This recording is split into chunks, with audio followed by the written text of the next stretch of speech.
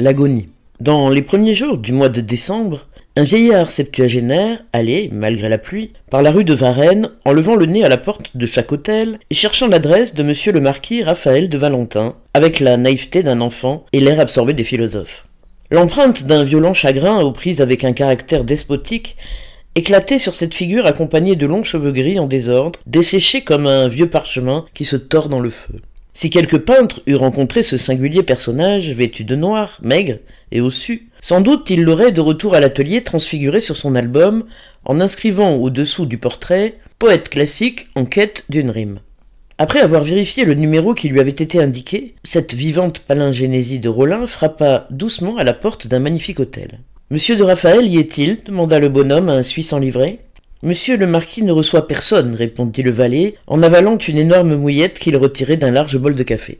Sa voiture est là, répondit le vieil inconnu en montrant à un brillant équipage, arrêté sous le dé de bois qui représentait une tente de coutis, et par lequel les marches du perron étaient abritées.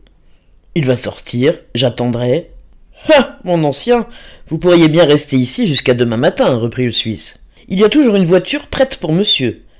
Mais sortez, je vous prie. Je perdrais six cents francs de rente si je laissais une seule fois entrer sans ordre une personne étrangère à l'hôtel. En ce moment, un grand vieillard dont le costume ressemblait assez à celui d'un huissier ministériel sortit du vestibule et descendit précipitamment quelques marches en examinant le vieux solliciteur ébahi. Au surplus, voici monsieur Jonatas, dit le Suisse, parlez-lui. Les deux vieillards, attirés l'un vers l'autre par une sympathie ou par une curiosité mutuelle, se rencontrèrent au milieu de la vaste cour d'honneur, à un rond-point, où croissaient quelques touffes d'herbe entre les pavés. Un silence effrayant régnait dans cet hôtel. En voyant Jonatas, vous eussiez voulu pénétrer le mystère qui planait sur sa figure et dont parlaient les moindres choses dans cette maison morne. Le premier soin de Raphaël, en recueillant l'immense succession de son oncle, avait été de découvrir où vivait le vieux serviteur dévoué sur l'affection duquel il pouvait toujours compter. Jonatas pleura de joie en revoyant son jeune maître, auquel il croyait avoir dit un éternel adieu. Mais rien n'égala son bonheur quand le marquis le promut aux éminentes fonctions d'intendant. Le vieux Jonatas devint une puissance intermédiaire placée entre Raphaël et le monde entier. Ordonnateur suprême de la fortune de son maître, exécuteur aveugle d'une pensée inconnue, il était comme un sixième sens à travers lequel les émotions de la vie arrivaient à Raphaël. Monsieur, je désirerais parler à monsieur Raphaël, dit le vieillard à Jonatas, en montant quelques marches du perron pour se mettre à l'abri de la pluie. Parler à monsieur le marquis s'écria l'intendant. À peine m'adresse-t-il la parole, à moi, son père nourricier. Mais je suis aussi son père nourricier, s'écria le vieil homme. Si votre femme l'a jadis allaité, je lui ai fait sucer moi-même le sein des muses. Il est mon nourrisson, mon enfant, carus alumnus. J'ai façonné sa cervelle, cultivé son entendement, développé son génie, et j'ose le dire, à mon honneur et gloire. N'est-il pas un des hommes les plus remarquables de notre époque? Je l'ai eu sous moi en sixième, en troisième et en rhétorique. Je suis son professeur. Ah, monsieur et monsieur Porriquet. Précisément, mais monsieur. Chut, chut fit Jonatas à deux marmitons dont les voix rompaient le silence claustral dans lequel la maison était ensevelie. Mais, monsieur, reprit le professeur, monsieur le marquis serait-il malade? Mon cher monsieur, reprit Jonatas, Dieu seul sait ce qui tient mon maître. Voyez-vous, il n'existe pas à Paris deux maisons semblables à la nôtre. Entendez-vous Deux maisons. Ma foi, non. Monsieur le marquis a fait acheter cet hôtel qui appartenait précédemment à un duc et père. Il a dépensé trois cent mille francs pour le meubler. Voyez-vous, c'est une somme, trois cent mille francs. Mais chaque pièce de notre maison est un vrai miracle. Bon, me suis-je dit en voyant cette magnificence, c'est comme chez défunt monsieur son père. Le jeune marquis va recevoir la ville et la cour. Point. Monsieur n'a voulu voir personne. Il mène une drôle de vie, monsieur Porriquet, entendez-vous? Une vie inconciliable. Monsieur se lève tous les jours à la même heure. Il n'y a que moi, moi seul, voyez-vous, qui puisse entrer dans sa chambre. J'ouvre à cette heure, été comme hiver. Cela est convenu singulièrement. Étant entré, je lui dis Monsieur le marquis, il faut vous réveiller et vous habiller. Il se réveille et s'habille. Je dois lui donner sa robe de chambre, toujours faite de la même façon et de la même étoffe. Je suis obligé de la remplacer quand elle ne pourra plus servir, rien que pour lui éviter la peine d'en demander une neuve. C'est imagination. Au fait, il a mille francs à manger par jour. Il fait ce qu'il veut, ce cher enfant. D'ailleurs, je l'aime tant qu'il me donnerait un soufflet sur la joue droite, je lui tendrais la gauche. Il me dirait de faire des choses plus difficiles, je les ferais encore. Entendez-vous? Au reste, il m'a chargé de tant de vétilles que j'ai de quoi m'occuper. Il lit les journaux, pas vrai? Ordre de les mettre au même endroit, sur la même table. Je viens aussi, à la même heure, lui faire moi-même la barbe et je ne tremble pas. Le cuisinier perdrait mille écus de rente viagère qui l'attendent après la mort de monsieur, si le déjeuner ne se trouvait pas inconciliablement servi devant monsieur à dix heures tous les matins et le dîner à cinq heures précises. Le menu est dressé pour l'année entière, jour par jour. Monsieur le marquis n'a rien à souhaiter. Il a des fraises quand il y a des fraises, et le premier maquereau qui arrive à Paris le mange. Le programme est imprimé, il sait le matin son dîner par cœur. Pour l'or, il s'habille à la même heure avec les mêmes habits, le même linge, posé toujours par moi. Entendez-vous? Sur le même fauteuil. Je dois encore veiller à ce qu'il ait toujours le même drap. En cas de besoin, si sa redingote s'abîme, une supposition, la remplacer par une autre, sans lui en dire un mot. S'il fait beau, j'entre et je dis à mon maître Vous devriez sortir, monsieur. Il me répond oui ou non. S'il a idée de se promener, il n'attend pas ses chevaux, ils sont toujours attelés. Le cocher reste inconciliablement fouet en main, comme vous le voyez là. Le soir, après le dîner, monsieur va un jour à l'opéra et l'autre aux Italiens. Mais non, il n'est pas encore allé aux Italiens, je n'ai pu me procurer une loge qu'hier. Puis, il rentre à onze heures précises pour se coucher. Pendant les intervalles de la journée où il ne fait rien, il lit. Il lit toujours, voyez-vous. Une idée qu'il a. J'ai ordre de lire avant lui le journal de la librairie, afin d'acheter des livres nouveaux, afin qu'il les trouve le jour même de leur vente sur sa cheminée. J'ai la consigne d'entrer d'heure en heure chez lui, pour veiller au feu, à tout, pour voir à ce que rien ne lui manque. Il m'a donné, monsieur, un petit livre à apprendre par cœur où sont écrits tous mes devoirs, un vrai catéchisme. En été, je dois, avec des tas de glace, maintenir la température au même degré de fraîcheur, et mettre en tout temps des fleurs nouvelles partout. Il est riche Il a mille francs à manger par jour. Il peut faire ses fantaisies. Il a été privé assez longtemps du nécessaire, le pauvre enfant. Il ne tourmente personne. Il est bon comme le pain. Jamais il ne dit mot, mais, par exemple, silence complet à l'hôtel et dans le jardin. Enfin, mon maître n'a pas un seul désir à former. Tout marche au doigt et à l'œil, et recta. Et il a raison. Si l'on ne tient pas les domestiques, tout va à la débandade. Je lui dis tout ce qu'il doit faire, et il m'écoute. Vous ne sauriez croire à quel point il a poussé la chose. Ses appartements sont en. en. comment donc euh, Ah, en enfilade. Eh bien, il ouvre une supposition, la porte de sa chambre ou de son cabinet, craque, toutes les portes s'ouvrent d'elles-mêmes par un mécanisme.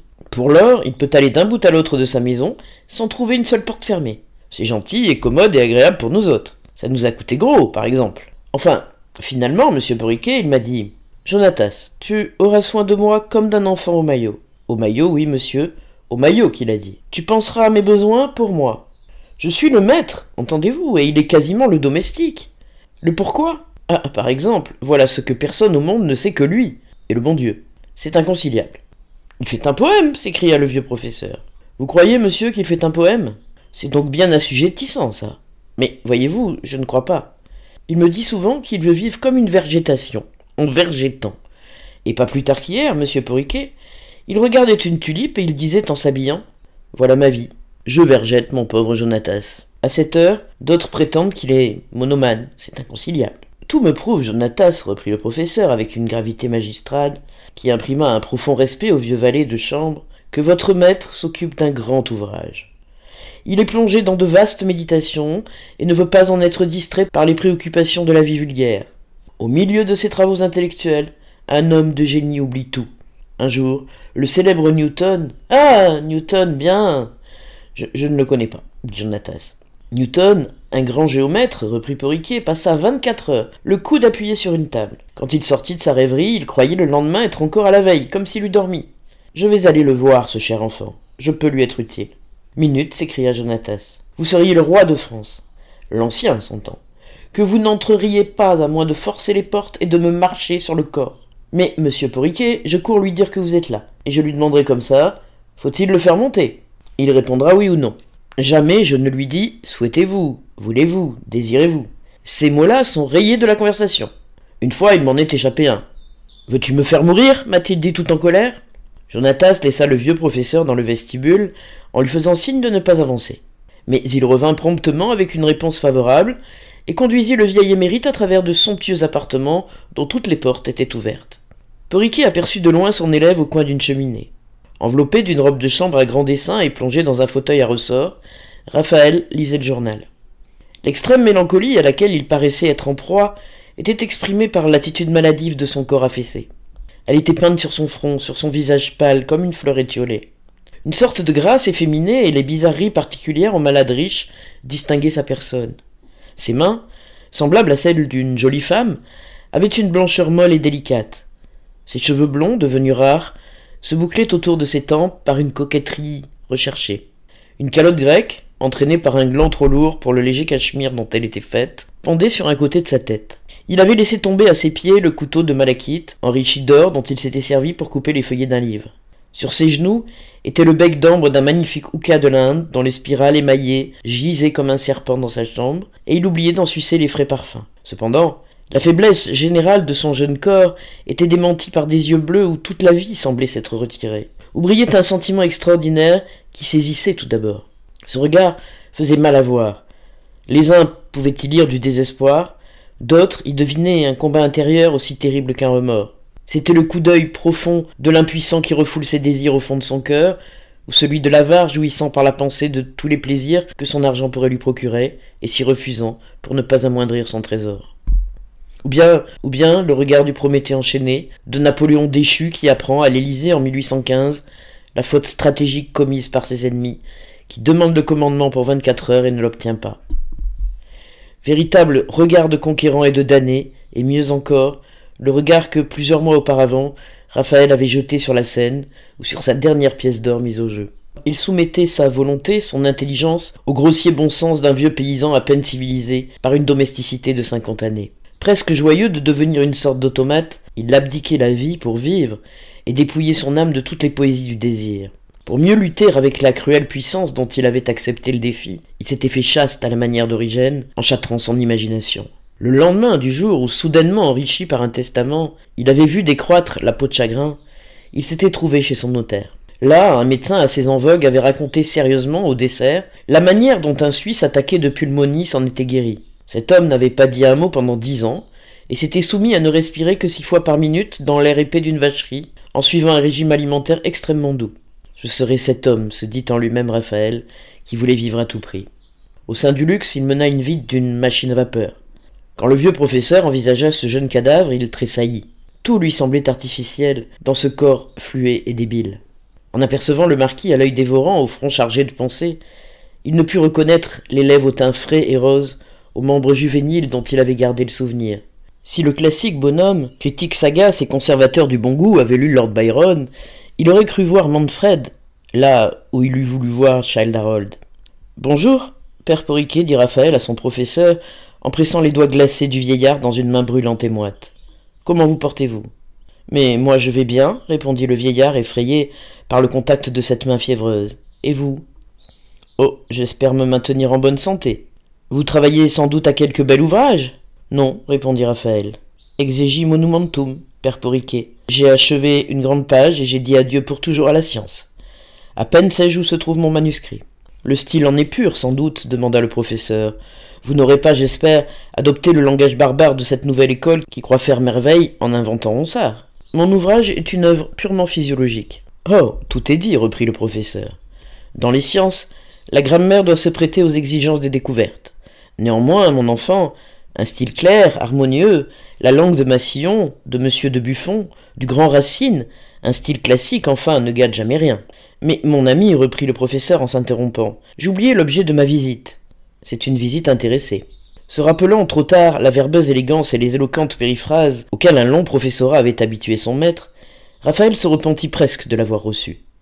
Mais au moment où il allait souhaiter de le voir dehors, il comprima promptement son secret désir en jetant un furtif coup d'œil à la peau de chagrin, suspendue devant lui et appliquée sur une étoffe blanche, où ses contours fatidiques étaient soigneusement dessinés par une ligne rouge qui l'encadrait exactement. Depuis la fatale orgie, Raphaël étouffait le plus léger de ses caprices et vivait de manière à ne pas causer le moindre tressaillement à ce terrible talisman. La peau de chagrin était comme un tigre avec lequel il lui fallait vivre, sans en réveiller la férocité. Il écouta donc patiemment les amplifications du vieux professeur. Le père Porriquet mit une heure à lui raconter les persécutions dont il était devenu l'objet depuis la Révolution de juillet. Le bonhomme, voulant un gouvernement fort, avait émis le vœu patriotique de laisser les épiciers à leur comptoir, les hommes d'État au maniement des affaires publiques, les avocats au palais, les pairs de France au Luxembourg. Mais un des ministres populaires du roi citoyen l'avait banni de sa chaire en l'accusant de carlisme. Le vieillard se trouvait sans place, sans retraite et sans pain. Étant la providence d'un pauvre neveu dont il payait la pension au séminaire de Saint-Sulpice, il venait, moins pour lui-même que pour son enfant adoptif, prier son ancien élève de réclamer auprès du nouveau ministre non sa réintégration, mais l'emploi de proviseur dans quelques collèges de province. Raphaël était en proie à une somnolence invincible, lorsque la voix monotone du bonhomme cessa de retentir à ses oreilles. Obligé par politesse de regarder les yeux blancs et presque immobiles de ce vieillard au débit lent et lourd, il avait été stupéfié, magnétisé par une inexplicable force d'inertie. Eh bien, mon bon père Porriquet, répliqua-t-il, sans savoir précisément à quelle interrogation il répondait. Je n'y puis rien, rien du tout. Je souhaite bien vivement que vous réussissiez. En ce moment, sans apercevoir l'effet que produisirent sur le front jaune et ridé du vieillard ces banales paroles, pleines d'égoïsme et d'insouciance, Raphaël se dressa comme un jeune chevreuil effrayé. Il vit une légère ligne blanche entre le bord de la peau noire et le dessin rouge. Il poussa un cri si terrible que le pauvre professeur en fut épouvanté. Allez, vieille bête, s'écria-t-il, vous serez nommé proviseur. Ne pouviez-vous pas me demander une rente viagère de mille écus plutôt qu'un souhait homicide? Votre visite ne m'aurait rien coûté. Il y a cent mille emplois en France et je n'ai qu'une vie. Une vie d'homme vaut plus que tous les emplois du monde. Jonatas Jonatas parut. Voilà de tes œuvres, triple saut. Pourquoi m'as-tu proposé de recevoir monsieur? dit-il, en lui montrant le vieillard pétrifié. T'ai-je remis mon âme entre les mains pour la déchirer? Tu m'arraches en ce moment dix années d'existence. Encore une faute comme celle-ci, et tu me conduiras à la demeure où j'ai conduit mon père. N'aurais-je pas mieux aimé posséder la belle Fédora que d'obliger cette vieille carcasse, espèce de haillon humain J'ai de l'or pour lui. D'ailleurs, quand tous les porriquets du monde mourraient de faim, qu'est-ce que cela me ferait? La colère avait blanchi le visage de Raphaël. Une légère écume sillonnait ses lèvres tremblantes, et l'expression de ses yeux était sanguinaire. À cet aspect, les deux vieillards furent saisis d'un tressaillement convulsif, comme deux enfants en présence d'un serpent. Le jeune homme tomba sur son fauteuil, il se fit une sorte de réaction sur son âme, les, larmes coulèrent abondamment de ses yeux flamboyants. Oh, ma vie, ma belle vie, dit-il. Plus de bienfaisantes pensées, plus d'amour, plus rien. Il se tourna vers le professeur. Le mal est fait, mon vieil ami, reprit-il d'une voix douce. Je vous aurai largement récompensé de vos soins, et mon malheur aura du moins produit le bien d'un bon et digne homme. Il y avait tant d'âme dans l'accent qui nuança ces paroles presque inintelligibles, que les deux vieillards pleurèrent comme on pleure en entendant un air attendrissant chanter dans une langue étrangère. Il est épileptique dit Porriquet à voix basse. Je reconnais votre bonté, mon ami, reprit doucement Raphaël. Vous voulez m'excuser? La maladie est un accident, l'inhumanité serait un vice. Laissez-moi maintenant, ajouta-t-il. Vous recevrez demain ou après-demain, peut-être même ce soir, votre nomination, car la résistance a triomphé du mouvement. Adieu. Le vieillard se retira, pénétré d'horreur et en proie à de vives inquiétudes sur la santé morale de Valentin. Cette scène avait eu pour lui quelque chose de surnaturel. Il doutait de lui-même et s'interrogeait comme s'il se fût réveillé après un songe pénible. Écoute, Jonatas, reprit le jeune homme en s'adressant à son vieux serviteur. Tâche de comprendre la mission que je t'ai confiée. Oui, monsieur le marquis. Je suis comme un homme mis hors la loi commune. Oui, monsieur le marquis. Toutes les jouissances de la vie se jouent autour de mon lit de mort et dansent comme de belles femmes devant moi. Si je les appelle, je meurs. Toujours la mort. Tu dois être une barrière entre le monde et moi. Oui, monsieur le marquis, dit le vieux valet, en essuyant les gouttes de sueur qui chargeaient son front ridé. Mais si vous ne voulez pas voir de belles femmes, comment ferez-vous ce soir aux Italiens? Une famille anglaise qui repart pour Londres m'a cédé le reste de son abonnement. Et vous avez une belle loge. Oh, une loge superbe aux premières. Tombé dans une profonde rêverie, Raphaël n'écoutait plus. Voyez-vous cette fastueuse voiture se couper simple en dehors, de couleur brune, mais sur les panneaux duquel brille l'écusson d'une antique et noble famille? Quand ce coupé passe rapidement, les grisettes l'admirent, on convoite le satin jaune, le tapis de la savonnerie, la passementerie fraîche comme une paille de riz, les moelleux coussins et les glaces muettes. Deux laquais en livrée se tiennent derrière cette voiture aristocratique. Mais au fond, sur la soie, j'ai une tête brûlante aux yeux cernés, la tête de Raphaël, triste et pensif. Fatale image de la richesse. Il court à travers Paris comme une fusée arrive au péristyle du théâtre Favard. Le marchepied se déploie, ses deux valets le soutiennent, une foule envieuse le regarde. Qu'a-t-il fait celui-là pour être si riche? Dit un pauvre étudiant en droit qui, faute d'un écu, ne pouvait entendre les magiques accords de Rossini. Raphaël marchait lentement dans les corridors de la salle. Il ne se promettait aucune jouissance de ses plaisirs, si fort enviés jadis. En attendant le second acte de la sémiramide, il se promenait au foyer, errait à travers les galeries, insouciant de sa loge dans laquelle il n'était pas encore entré. Le sentiment de la propriété n'existait déjà plus au fond de son cœur. Semblable à tous les malades, il ne songeait qu'à son mal. Appuyé sur le manteau de la cheminée, autour de laquelle abondaient au milieu du foyer les jeunes et les vieux élégants, d'anciens et de nouveaux ministres, des pères sans prairies et des prairies sans pères, tels que les a faites la Révolution de juillet. Enfin, tout un monde de spéculateurs et de journalistes. Raphaël vit à quelques pas de lui, parmi toutes les têtes, une figure étrange et surnaturelle. Il s'avança en clignant les yeux fort insolemment vers cet être bizarre, afin de le contempler de plus près. Quelle admirable peinture, se dit-il. Les sourcils, les cheveux, la virgule à la Mazarin que montrait vaniteusement l'inconnu, étaient teints en noir. Mais, appliqué sur une chevelure sans doute trop blanche, le cosmétique avait produit une couleur violâtre et fausse, dont les teintes changeaient suivant les reflets plus ou moins vifs des lumières. Son visage, étroit et plat, dont les rides étaient comblées par d'épaisses couches de rouge et de blanc, exprimait à la fois la ruse et l'inquiétude. Cette enluminure manquait à quelque endroit de la face et faisait singulièrement ressortir sa décrépitude et son teint plombé. Aussi était-il impossible de ne pas rire en voyant cette tête au menton pointu, au front proéminent, assez semblable à ces grotesques figures de bois sculptées en Allemagne par les bergers pendant leurs loisirs. En examinant tour à tour ce vieil Adonis et Raphaël, un observateur aurait cru reconnaître dans le marquis les yeux d'un jeune homme sous le masque d'un vieillard, et dans l'inconnu les yeux ternes d'un vieillard sous le masque d'un jeune homme. Valentin cherchait à se rappeler en quelles circonstances il avait vu ce petit vieux sec, bien cravaté, beauté, qui faisait sonner ses éperons et se croiser les bras comme s'il avait toutes les forces d'une pétulante jeunesse à dépenser. Sa démarche n'accusait rien de gêné ni d'artificiel. Son élégant habit, soigneusement boutonné, déguisait une antique et forte charpente, en lui donnant la tournure d'un vieux fa qui suit encore les modes. Cette espèce de poupée pleine de vie avait pour Raphaël tous les charmes d'une apparition, et il le contemplait comme un vieux Rembrandt enfumé, récemment restauré, verni, mis dans un cadre neuf. Cette comparaison lui fit retrouver la trace de la vérité dans ses confus souvenirs. Il reconnut le marchand de curiosités, l'homme auquel il devait son malheur. En ce moment, un rire muet échappait à ce fantastique personnage et se dessinait sur ses lèvres froides, tendues par un faux râtelier.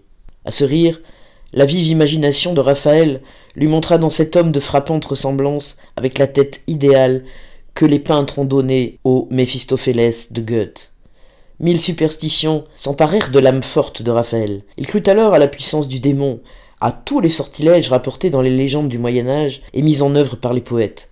Se refusant avec horreur au sort de Faust, il invoqua soudain le ciel, ayant comme les mourants une foi fervente en Dieu, en la Vierge Marie. Une radieuse et fraîche lumière lui permit d'apercevoir le ciel de Michel-Ange et de Sancio d'Urbain. Des nuages, un vieillard à barbe blanche, des têtes ailées, une belle femme assise dans une auréole. Maintenant il comprenait. Il adoptait ces admirables créations dans les fantaisies presque humaines, lui expliquait son aventure et lui permettait encore un espoir. Mais quand ses yeux retombèrent sur le foyer des Italiens au lieu de la Vierge, il vit une ravissante fille, la détestable Euphrasie, cette danseuse au corps souple et léger qui, vêtue d'une robe éclatante, couverte de perles orientales, arrivait impatiente de son vieillard impatient, et venait se montrer, insolente, le front hardi, les yeux pétillants, à ce monde envieux et spéculateur pour témoigner de la richesse sans borne du marchand dont elle dissipait les trésors. Raphaël se souvint du souhait goguenard par lequel il avait accueilli le fatal présent du vieil homme, et savoura tous les plaisirs de la vengeance, en contemplant l'humiliation profonde de cette sagesse sublime dont naguère la chute semblait impossible. Le funèbre sourire du centenaire s'adressait à Euphrasie qui répondit par un mot d'amour. Il lui offrit son bras desséché, fit deux ou trois fois le tour du foyer, recueillit avec délice les regards de passion et les compliments jetés par la foule à sa maîtresse, sans voir les rires dédaigneux, sans entendre les railleries mordantes dont il était l'objet. Dans quel cimetière cette jeune goule a-t-elle déterré ce cadavre? s'écria le plus élégant de tous les romantiques. Euphrasie se prit à sourire. Le railleur était un jeune homme aux cheveux blonds, aux yeux bleus et brillants, svelte, portant moustache, ayant un frac écourté, le chapeau sur l'oreille, la répartie vive, tout le langage du genre. Combien de vieillards, se dit Raphaël en lui-même, couronne une vie de probité, de travail, de vertu par une folie. Celui-ci a les pieds froids et fait l'amour. Eh bien, monsieur, s'écria Valentin en arrêtant le marchand et lançant une œillade à Euphrasie. Ne vous souvenez-vous plus des sévères maximes de votre philosophie? Ah, répondit le marchand d'une voix déjà cassée. Je suis maintenant heureux comme un jeune homme. J'avais pris l'existence au rebours. Il y a toute une vie dans une heure d'amour. En ce moment, les spectateurs entendirent la sonnette de rappel et quittèrent le foyer pour se rendre à leur place. Le vieillard et Raphaël se séparèrent. En entrant dans sa loge, le marquis aperçut Fédora, placée à l'autre côté de la salle, précisément en face de lui. Sans doute arrivée depuis peu, la comtesse rejetait son écharpe en arrière, se découvrait le cou, faisait les petits mouvements indescriptibles d'une coquette occupée à se poser. Tous les regards étaient concentrés sur elle. Un jeune père de France l'accompagnait. Elle lui demanda la lorgnette qu'elle lui avait donnée à porter. À son geste, à la manière dont elle regarda ce nouveau partenaire, Raphaël devina la tyrannie à laquelle son successeur était soumis. Fasciné sans doute comme il l'avait été jadis, dupé comme lui, comme lui luttant avec toute la puissance d'un amour vrai contre les froids calculs de cette femme, ce jeune homme devait souffrir les tourments auxquels Valentin avait heureusement renoncé. Une joie inexprimable anima la figure de Fédora quand, après avoir braqué sa lorgnette sur toutes les loges et rapidement examiné les toilettes, elle eut la conscience d'écraser par sa parure et par sa beauté les plus jolies, les plus élégantes femmes de Paris. Elle se mit à rire pour montrer ses dents blanches, agita sa tête ornée de fleurs pour se faire admirer. Son regard alla de loge en loge, se moquant d'un béret gauchement posé sur le front d'une princesse russe ou d'un chapeau manqué qui coiffait horriblement mal la fille d'un banquier. Tout à coup elle pâlit en rencontrant les yeux fixes de Raphaël. Son amant dédaignait la foudroya par un intolérable coup d'œil de mépris. Quand aucun de ses amants bannis ne méconnaissait sa puissance, Valentin, seul dans le monde, était à l'abri de ses séductions. Un pouvoir impunément bravé toucha sa ruine. Cette maxime est gravée plus profondément au cœur d'une femme qu'à la tête des rois. Aussi, Fédora voyait-elle en Raphaël la mort de ses prestiges et de sa coquetterie. Un mot, dit par lui la veille à l'opéra, était déjà devenu célèbre dans les salons de Paris. Le tranchant de cette terrible épigramme avait fait à la comtesse une blessure incurable. En France, nous savons cautériser une plaie, mais nous n'y connaissons pas encore de remède au mal que produit une phrase. Au moment où toutes les femmes regardèrent alternativement le marquis et la comtesse, Feudora aurait voulu l'abîmer dans les oubliettes de quelques bastilles, car malgré son talent pour la dissimulation, ses rivales devinèrent sa souffrance. Enfin, sa dernière consolation lui échappa, ces mots délicieux. Je suis la plus belle. Cette phrase éternelle qui calmait tous les chagrins de sa vanité devint un mensonge. À l'ouverture du second acte, une femme vint se placer près de Raphaël, dans une loge qui jusqu'alors était restée vide. Le parterre entier laissa réchapper un murmure d'admiration. Cette mère de face humaine agita ses lames intelligentes, et tous les yeux regardèrent l'inconnu. Jeunes et vieux firent un tumulte si prolongé que, pendant le lever du rideau, les musiciens de l'orchestre se tournèrent d'abord pour réclamer le silence. Mais ils s'unirent aux applaudissements et en accrurent les confuses rumeurs. Des conversations animées s'établirent dans chaque loge. Les femmes s'étaient toutes armées de leurs jumelles, les vieillards rajeunis nettoyaient avec la peau de leurs gants le verre de leurs lorgnettes. L'enthousiasme se calma par degrés, les chants retentirent sur la scène, tout rentra dans l'ordre. La bonne compagnie, honteuse d'avoir cédé à un mouvement naturel, reprit la froideur aristocratique de ses manières polies. Les riches veulent ne s'étonner de rien, ils doivent reconnaître au premier aspect d'une belle œuvre le défaut qui les dispensera de l'admiration, sentiment vulgaire. Cependant, quelques hommes restèrent immobiles, sans écouter de la musique. Ils étaient perdus dans un ravissement naïf, occupés à contempler la voisine de Raphaël. Valentin aperçut dans une baignoire et près d'Aquilina l'ignoble et sanglante figure de Taillefer, qui lui adressait une grimace approbative. Puis il vit Émile, qui debout à l'orchestre semblait lui dire Mais regarde donc la belle créature qui est près de toi. Enfin, Rastignac, assis près de madame de Nucingen et de sa fille, se tortillait ses gants comme un homme au désespoir d'être enchaîné là, sans pouvoir aller près de la divine inconnue. La vie de Raphaël dépendait d'un pacte encore inviolé qu'il avait fait avec lui-même. Il s'était promis de ne jamais regarder attentivement aucune femme, et pour se mettre à l'abri d'une tentation, il portait un lorgnon dont le verre microscopique, artistement disposé, détruisait l'harmonie des plus beaux traits en leur donnant un hideux aspect. Encore en proie à la terreur qu'il avait saisie le matin, quand, pour un simple vœu de politesse, le talisman s'était si promptement resserré, Raphaël résolut fermement de ne pas se retourner vers sa voisine. Assis comme une duchesse, il présentait le dos au coin de sa loge et dérobait avec impertinence la moitié de la scène à l'inconnu, ayant l'air de la mépriser, d'ignorer même qu'une jolie femme se trouvait derrière lui. La voisine copiait avec exactitude la posture de Valentin. Elle avait appuyé son coude sur le bord de la loge et se mettait la tête de trois quarts en regardant les chanteurs comme si elle se fût posée devant un peintre. Ces deux personnes ressemblaient à deux amants brouillés qui se boudent, se tournent le dos et vont s'embrasser au premier mot d'amour. Par moments, les légers marabouts ou les cheveux de l'inconnu effleuraient la tête de Raphaël et lui causaient une sensation voluptueuse contre laquelle il luttait courageusement. Bientôt, il sentit le contact doux des ruches de blonde qui garnissaient le tour de la robe. La robe elle-même fit entendre le murmure efféminé de ses plis, frissonnement plein de molle sorcellerie. Enfin, le mouvement imperceptible imprimé par la respiration à la poitrine, au dos, aux vêtements de cette jolie femme, toute sa vie suave, se communiqua soudain à Raphaël comme une étincelle électrique. Le tulle et la dentelle transmirent fidèlement à son épaule chatouillée la délicieuse chaleur de ce dos blanc et nu.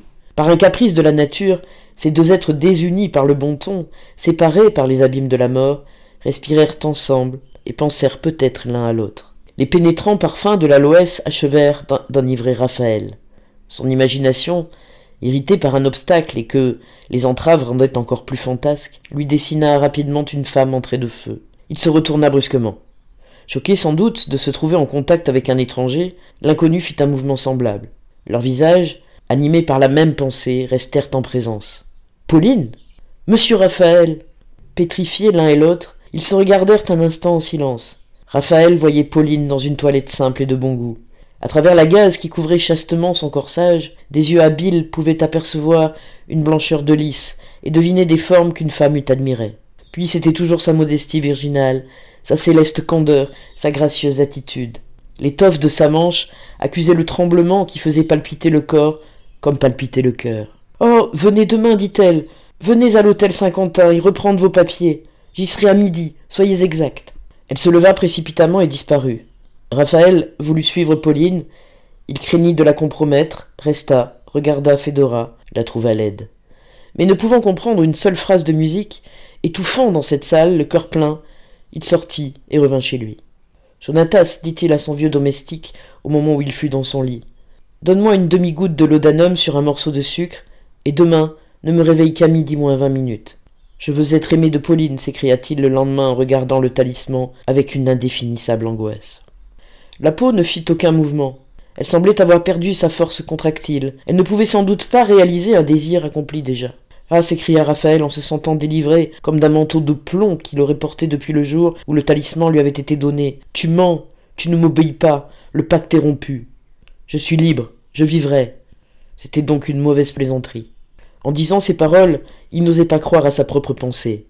Il se mit aussi simplement qu'il l'était jadis, et voulut aller à pied à son ancienne demeure, en essayant de se reporter en idée à ces jours heureux où il se livrait sans danger à la furie de ses désirs, où il n'avait point encore jugé toutes les jouissances humaines. Il marchait, voyant non plus la Pauline de l'hôtel Saint-Quentin, mais la Pauline de la veille, cette maîtresse accomplie, si souvent rêvée, jeune fille spirituelle, aimante, artiste, comprenant les poètes, comprenant la poésie et vivant au sein du luxe. En un mot, Fédora douée d'une belle âme, ou Pauline, comtesse et deux fois millionnaire comme l'était Fédora. Quand il se trouva sur le seuil usé, sur la dalle cassée de cette porte où tant de fois il avait eu des pensées de désespoir, une vieille femme sortit de la salle et lui dit N'êtes-vous pas monsieur Raphaël de Valentin Oui, ma bonne mère, répondit-il. Vous connaissez votre ancien logement, reprit-elle. Vous y êtes attendu. Cet hôtel est-il toujours tenu par madame Godin? demanda-t-il. Oh non, monsieur. Maintenant, madame Godin est baronne. Elle est dans une belle maison à elle de l'autre côté de l'eau. Son mari est revenu. Dame, il a rapporté des mille et des cents. L'on dit qu'elle pourrait acheter tout le quartier Saint-Jacques si elle le voulait. Elle m'a donné gratis son fonds et son restant de bail. Ah, c'est une bonne femme tout de même. Elle n'est pas plus fière aujourd'hui qu'elle ne l'était hier. Raphaël monta lestement à sa mansarde et quand il atteignit les dernières marches de l'escalier, il entendit les sons du piano. Pauline était là, modestement vêtue d'une robe de percaline. Mais la façon de la robe, les gants, le chapeau, le châle négligemment jetés sur le lit révélaient toute une fortune. Ah. Vous voilà donc. s'écria Pauline en tournant la tête et se levant par un naïf mouvement de joie. Raphaël vint s'asseoir près d'elle, rougissant, honteux, heureux. Il la regarda sans rien dire. Pourquoi nous avez-vous donc quittés? reprit-elle, en baissant les yeux au moment où son visage s'empourpra. Qu'êtes-vous devenu? Ah, Pauline, j'ai été. Je suis bien malheureuse encore. Là s'écria-t-elle tout attendrie. J'ai deviné votre sort hier en vous voyant bien mis, riche en apparence, mais en réalité, hein, monsieur Raphaël, est-ce toujours comme autrefois? Valentin ne put retenir quelques larmes. Elles roulèrent dans ses yeux, il s'écria. Pauline, je. Il n'acheva pas. Ses yeux étincelèrent d'amour et son cœur déborda dans son regard. Oh. Il m'aime. Il m'aime. s'écria Pauline. Raphaël fit un signe de tête, car il se sentit hors d'état de prononcer une seule parole. À ce geste, la jeune fille lui prit la main, la serra, et lui dit tantôt riant, tantôt sanglotant. Riche, Riche, heureux, riche, ta Pauline est riche. Mais moi, je devrais être bien pauvre aujourd'hui. J'ai mille fois dit que je paierais ce mot, il m'aime, de tous les trésors de la terre. Oh mon Raphaël, j'ai des millions. Tu aimes le luxe, tu seras content. Mais tu dois aimer mon cœur aussi. Il y a tant d'amour pour toi dans ce cœur. Tu ne sais pas, mon père est revenu. Je suis une riche héritière. Ma mère et lui me laissent entièrement maîtresse de mon sort. Je suis libre, comprends-tu? En proie à une sorte de délire, Raphaël tenait les mains de Pauline et les baisait si ardemment, si avidement, que son baiser semblait être une sorte de convulsion. Pauline se dégagea les mains, les jeta sur les épaules de Raphaël et le saisit. Ils se comprirent, se serrèrent, et s'embrassèrent avec cette sainte et délicieuse ferveur, dégagée de toute arrière-pensée, dont se trouve empreint un seul baiser, le premier baiser par lequel deux âmes prennent possession d'elles-mêmes. Ah s'écria Pauline en retombant sur sa chaise, je ne veux plus te quitter. Je ne sais d'où me vient tant de hardiesse, reprit-elle en rougissant. De la hardiesse, ma Pauline? Oh, ne crains rien, c'est de l'amour vrai, profond, éternel comme le mien, n'est-ce pas? Oh, parle, parle, parle, dit-elle. Ta bouche a été si longtemps muette pour moi. Tu m'aimais donc? Oh Dieu, si je t'aimais Combien de fois j'ai pleuré, là, tiens, en faisant ta chambre, déplorant ta misère et la mienne. Je me serais vendu au démon pour t'éviter un chagrin. Aujourd'hui, mon Raphaël, car tu es bien à moi, à moi cette belle tête, à moi ton cœur. Oh oui, ton cœur surtout, éternelle richesse. Eh bien, où en suis-je reprit-elle après une pause. Ah, m'y voici. Nous avons trois, quatre, cinq millions, je crois. Si j'étais pauvre, je tiendrais peut-être à porter ton nom, à être nommée ta femme, mais en ce moment, je voudrais te sacrifier le monde entier, je voudrais être encore et toujours ta servante. Va, Raphaël. En t'offrant mon cœur, ma personne, ma fortune, je ne te donnerai rien de plus aujourd'hui que le jour où j'ai mis là, dit-elle, en montrant le tiroir de la table, certaines pièces de cent sous. Oh, comme alors ta joie m'a fait mal. Pourquoi es-tu riche? s'écria Raphaël. Pourquoi n'as-tu pas de vanité? Je ne puis rien pour toi. Il se tordit les mains de bonheur, de désespoir, d'amour. Quand tu seras madame la marquise de Valentin, je te connais, âme céleste. Ce titre et ma fortune ne vaudront pas un seul de tes cheveux, s'écria-t-elle. Moi aussi j'ai des millions. Mais que sont maintenant les richesses pour nous? Ah, j'ai ma vie, je puis te l'offrir. Prends-la. Oh, ton amour, Raphaël, ton amour vaut le monde. Comment? Ta pensée est à moi? Mais je suis la plus heureuse des heureuses. L'on va nous entendre, dit Raphaël. Eh, il n'y a personne, répondit-elle en laissant échapper un geste mutin. Eh bien, viens, s'écria Valentin en lui tendant les bras. Elle sauta sur ses genoux et joignit ses mains autour de son cou. Embrassez-moi, dit-elle, pour tous les chagrins que vous m'avez donnés, pour effacer la peine que vos joies m'ont faite, pour toutes les nuits que j'ai passées à peindre mes écrans. Des écrans? Puisque nous sommes riches, mon trésor, je puis te dire tout. Pauvre enfant, combien il est facile de tromper les hommes d'esprit. Est-ce que tu pouvais avoir des gilets blancs et des chemises propres deux fois par semaine pour trois francs de blanchissage par mois?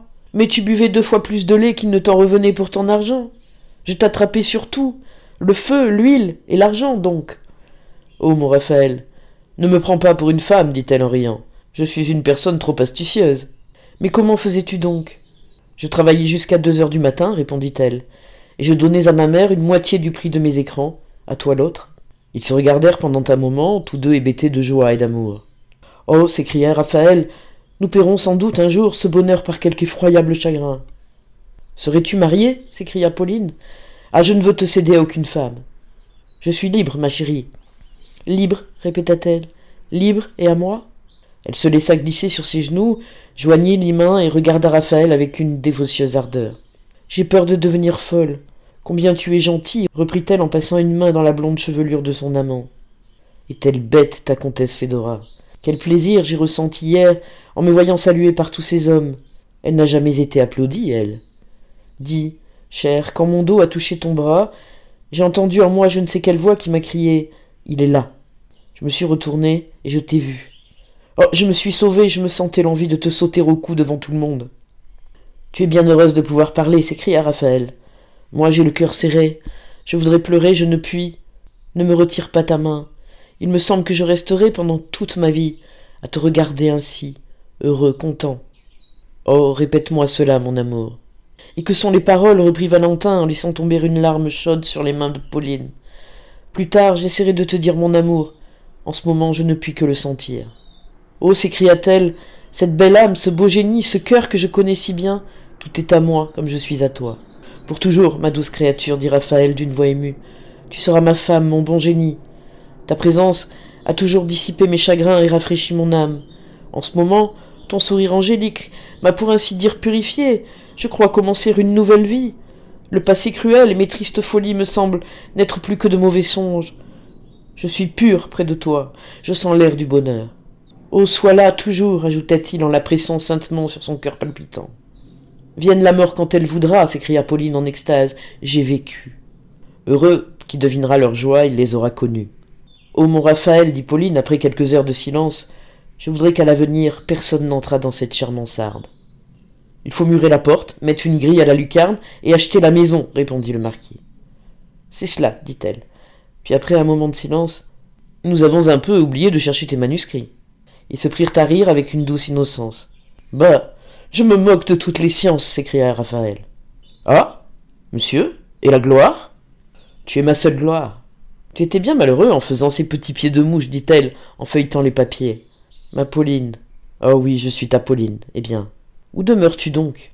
Rue Saint-Lazare et toi? Rue de Varennes? Comme nous serons loin de l'autre jusqu'à ce que. Elle s'arrêta en regardant son ami d'un air coquet et malicieux. Mais, répondit Raphaël, nous n'avons tout au plus une quinzaine de jours à rester séparés. Vrai? Dans quinze jours nous serons mariés. Elle sauta comme un enfant. Oh, je suis une fille dénaturée, reprit-elle. Je ne pense plus ni à père, ni à mère, ni à rien dans le monde. Tu ne sais pas, pauvre chérie, mon père est bien malade. Il est revenu des Indes, bien souffrant. Il a manqué mourir au Havre où nous sommes allés le chercher. Ah, Dieu s'écria-t-elle en regardant l'heure de sa montre. Déjà trois heures. Je dois me trouver à son réveil à quatre heures. Je suis la maîtresse au logis. Ma mère fait toutes mes volontés, mon père m'adore, mais je ne veux pas amuser de leur bonté, ce serait mal. Le pauvre père, c'est lui qui m'a envoyé aux Italiens hier. Tu viendras le voir demain, n'est-ce pas? Madame la marquise de Valentin veut-elle me faire l'honneur d'accepter mon bras? Ah, je vais emporter la clé de cette chambre, elle N'est-ce pas un palais, notre trésor? Pauline, encore un baiser?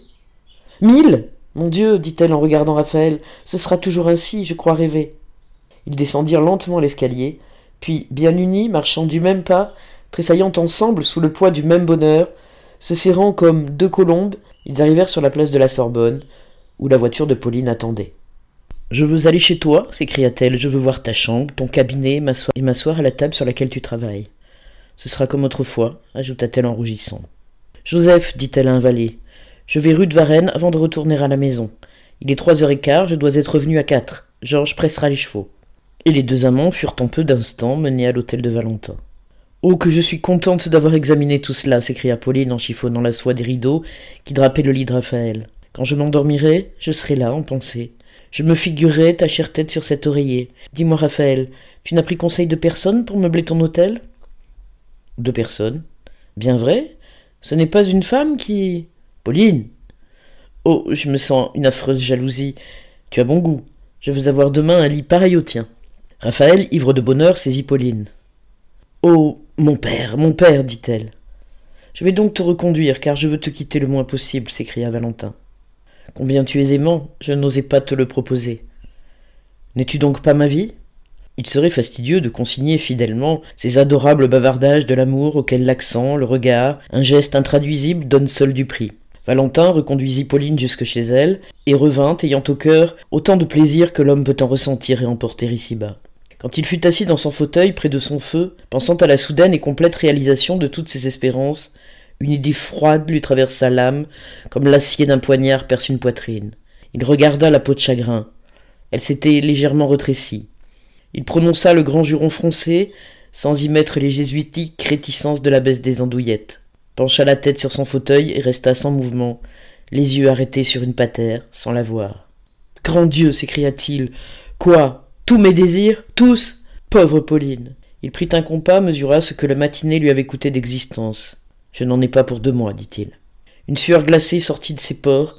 Tout à coup, il obéit à un inexprimable mouvement de rage et saisit la peau de chagrin en s'écriant Je suis bien bête Il sortit, courut, traversa les jardins et jeta le talisman au fond d'un puits. Vogue la galère, dit-il. Au diable, toutes ces sottises. Raphaël se laissa donc aller au bonheur d'aimer et vécut cœur à cœur avec Pauline. Leur mariage, retardé par des difficultés peu intéressantes à raconter, devait se célébrer dans les premiers jours de mars. Ils s'étaient éprouvés, ne doutaient point d'eux-mêmes, et le bonheur leur ayant révélé toute la puissance de leur affection, Jamais deux âmes, deux caractères ne s'étaient aussi parfaitement unis qu'ils le furent par la passion. En s'étudiant, ils s'aimèrent davantage. De part et d'autre, même délicatesse, même pudeur, même volupté, la plus douce de toutes les voluptés, celle des anges. Point de nuages dans leur ciel, tour à tour les désirs de l'un faisaient la loi de l'autre. Riches tous deux, ils ne connaissaient point de caprice qu'ils ne pussent satisfaire, et partant n'avaient point de caprice. Un goût exquis, le sentiment du beau, une vraie poésie animait l'âme de l'épouse. Dédaignant les colifichets de la finance, un sourire de son ami lui semblait plus beau que toutes les perles d'Ormuz, la mousseline ou les fleurs formaient ses plus riches parures. Pauline et Raphaël fuyaient d'ailleurs le monde, la solitude leur était si belle, si féconde. Les oisifs voyaient exactement tous les soirs ce joli ménage de contrebande aux Italiens ou à l'opéra. Si d'abord quelques médisances égayèrent les salons, bientôt le torrent d'événements qui passa sur Paris fit oublier deux amants inoffensifs. Enfin, espèce d'excuse auprès des prudes, leur mariage était annoncé et par hasard, leur gens se trouvaient discrets. Donc, aucune méchanceté trop vive ne les punit de leur bonheur. Vers la fin du mois de février, époque à laquelle d'assez beaux jours firent croire aux joies du printemps, un matin, Pauline et Raphaël déjeunaient ensemble dans une petite serre, espèce de salon rempli de fleurs et de plein pied avec le jardin. Le doux et pâle soleil de l'hiver, dont les rayons se brisaient à travers les arbustes rares, tiédissait alors la température. Les yeux étaient égayés par les vigoureux contrastes des divers feuillages, par les couleurs des touffes fleuries et par toutes les fantaisies de la lumière et de l'ombre. Quand tout Paris se chauffait encore devant les tristes foyers, les deux jeunes époux riaient sous un berceau de camélias, de lilas, de bruyères. Leurs têtes joyeuses s'élevaient au-dessus des narcisses, des muguets, des roses du Bengale. Dans cette serre voluptueuse et riche, les pieds foulaient une natte africaine colorée comme un tapis. Les parois, tendues en coutil vert, n'offraient pas la moindre trace d'humidité. L'ameublement était de bois en apparence grossier, mais dont l'écorce polie brillait de propreté. Un jeune chat, accroupi sur la table où l'avait attiré l'odeur du lait, se laissait barbouiller de café par Pauline. Elle folâtrait avec lui, défendait la crème qu'elle lui permettait à peine de flairer afin d'exercer sa patience et d'entretenir le combat. Elle éclatait de rire à chacune de ses grimaces et débitait mille plaisanteries pour empêcher Raphaël de lire le journal qui, dix fois déjà, lui était tombé des mains. Il abondait dans cette scène matinale un bonheur inexprimable, comme tout ce qui est naturel et vrai. Raphaël feignait toujours de lire sa feuille et contemplait à la dérobée Pauline aux prises avec le chat. Sa Pauline, enveloppée d'un long peignoir qui la lui voilait imparfaitement. Sa Pauline, les cheveux en désordre et montrant un petit pied blanc veiné de bleu dans une pantoufle de velours noir. Charmante à voir en déshabillé, délicieuse comme les fantastiques figures de Vestale, elle semblait être tout à la fois jeune fille et femme. Peut-être plus jeune fille que femme, elle jouissait d'une félicité sans mélange et ne connaissait de l'amour que ses premières joies. Au moment où, tout à fait absorbé par sa douce rêverie, Raphaël avait oublié son journal, Pauline le saisit, le chiffonna, en fit une boule, le lança dans le jardin, et le chat courut après la politique, qui tournait comme toujours sur elle-même. Quand Raphaël, distrait par cette scène enfantine, voulut continuer à lire et fit le geste de lever la feuille, qu'il n'avait plus, éclatèrent des rires francs, joyeux, renaissant d'eux-mêmes comme les chants d'un oiseau. Je suis jalouse du journal, dit-elle en essuyant les larmes que son rire d'enfant avait fait couler. N'est-ce pas une félonie, reprit-elle, redevenant femme tout à coup, que de lire des proclamations russes en ma présence, et de préférer la prose de l'empereur Nicolas à des paroles, à des regards d'amour? Je ne lisais pas, mon ange aimé, je te regardais. En ce moment, le pas lourd du jardinier, dont les souliers ferrés faisaient crier le sable des allées, retentit près de la serre. Excusez, monsieur le marquis, si je vous interromps ainsi que madame, mais je vous apporte une curiosité comme je n'en avais jamais vue. En tirant tout à l'heure, sous votre respect, un seau d'eau, j'ai amené cette singulière plante marine. La voilà. Faut tout de même que ce soit bien accoutumé à l'eau, car ce n'était point mouillé ni humide. C'était sec comme du bois, et point gras du tout. Comme monsieur le marquis est plus savant que moi, certainement, j'ai pensé qu'il fallait le lui apporter et que ça l'intéresserait. Et le jardinier montrait à Raphaël l'inexorable peau de chagrin qui n'avait pas six pouces carrés de superficie. Merci, Vanière, dit Raphaël. Cette chose est très curieuse. Qu'as-tu, mon ange? Tu pâlis s'écria Pauline. Laissez-nous, Vanière. Ta voix m'effraie, reprit la jeune fille. Elle est singulièrement altérée. Qu'as-tu? Que te sens-tu? Où as-tu mal? Tu as mal? Un médecin cria-t-elle. Jonatas, au secours Ma Pauline, tais-toi, répondit Raphaël, qui recouvra son sang-froid. Sortons. Il y a près de moi une fleur dont le parfum m'accommode. Peut-être est-ce cette verveine. Pauline s'élança sur l'innocent arbuste, le saisit par la tige et le jeta dans le jardin. Ô ange s'écria-t-elle en serrant Raphaël par une étreinte aussi forte que leur amour, et en lui apportant avec une langoureuse coquetterie ses lèvres vermeilles à baiser. En te voyant pâlir, j'ai compris que je ne te survivrai pas. Ta vie est ma vie. Mon Raphaël, passe-moi ta main dans le dos. J'y sens encore la petite mort, j'y ai froid. Tes lèvres sont brûlantes, et ta main, elle est glacée, ajouta-t-elle. Folle s'écria Raphaël. Pourquoi cette larme dit-elle? Laisse-la moi boire. Pauline, Pauline, tu m'aimes trop. Il se passe en toi quelque chose d'extraordinaire, Raphaël. Sois vrai, je saurai bientôt ton secret. Donne-moi cela, dit-elle en prenant la peau de chagrin. Tu es mon bourreau, cria le jeune homme en jetant un regard d'horreur sur le talisman. Quel changement de voix, répondit Pauline, qui laissa tomber le fatal symbole du destin. M'aimes-tu reprit-il. Si je t'aime, est-ce une question? Eh bien, laisse-moi, va-t'en. La pauvre petite sortit.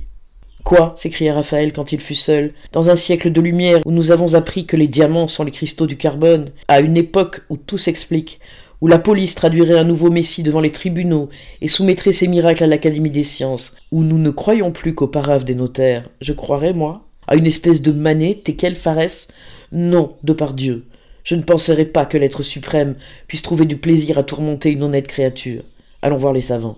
Il arriva bientôt, entre la halle au vin, immense recueil de tonneaux, et la salpêtrière, immense séminaire d'ivrognerie, devant une petite mare où s'ébaudissaient des canards remarquables par la rareté des espèces, et dont les ondoyantes couleurs, semblables aux vitraux d'une cathédrale, pétillaient sous les rayons du soleil. Tous les canards du monde étaient là, criant, barbotant, grouillant, et formant une espèce de chambre canarde rassemblée contre son gré, mais heureusement, sans charte, ni principe politique, et vivant sans rencontrer de chasseurs, sous l'œil des naturalistes qui les regardaient par hasard.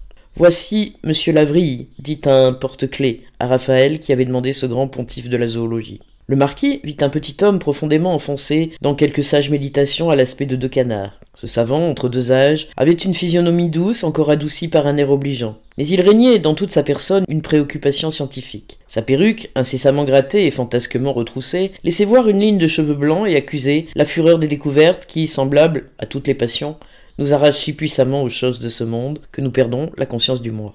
Raphaël, homme de science et d'études, admira ce naturaliste dont l'éveil était consacré à l'agrandissement des connaissances humaines, dont les erreurs servaient encore la gloire de la France. Mais une petite maîtresse aurait ri sans doute de la solution de continuité qui se trouvait entre la culotte et le gilet rayé du savant, interstice d'ailleurs chastement rempli par une chemise qu'il avait copieusement froncée en se baissant et se levant tour à tour au gré de ses observations zoogénésiques. Après quelques premières phrases de politesse, Raphaël crut nécessaire d'adresser à M. Lavrille un compliment banal sur ses canards. Oh, nous sommes riches en canards, répondit le naturaliste. Ce genre est d'ailleurs, comme vous le savez sans doute, le plus fécond de l'ordre des palmipèdes. Il commence au cygne et finit au canard zinzin, en comprenant 137 variétés d'individus bien distincts, ayant leur nom, leur mœurs, leur patrie, leur physionomie, et qui ne se ressemblent pas plus qu'entre eux qu'un blanc ne ressemble à un nègre. En vérité, monsieur, quand nous mangeons un canard, la plupart du temps, nous ne nous doutons guère de l'étendue. Il s'interrompit à l'aspect d'un joli petit canard qui remontait le talus de la mare.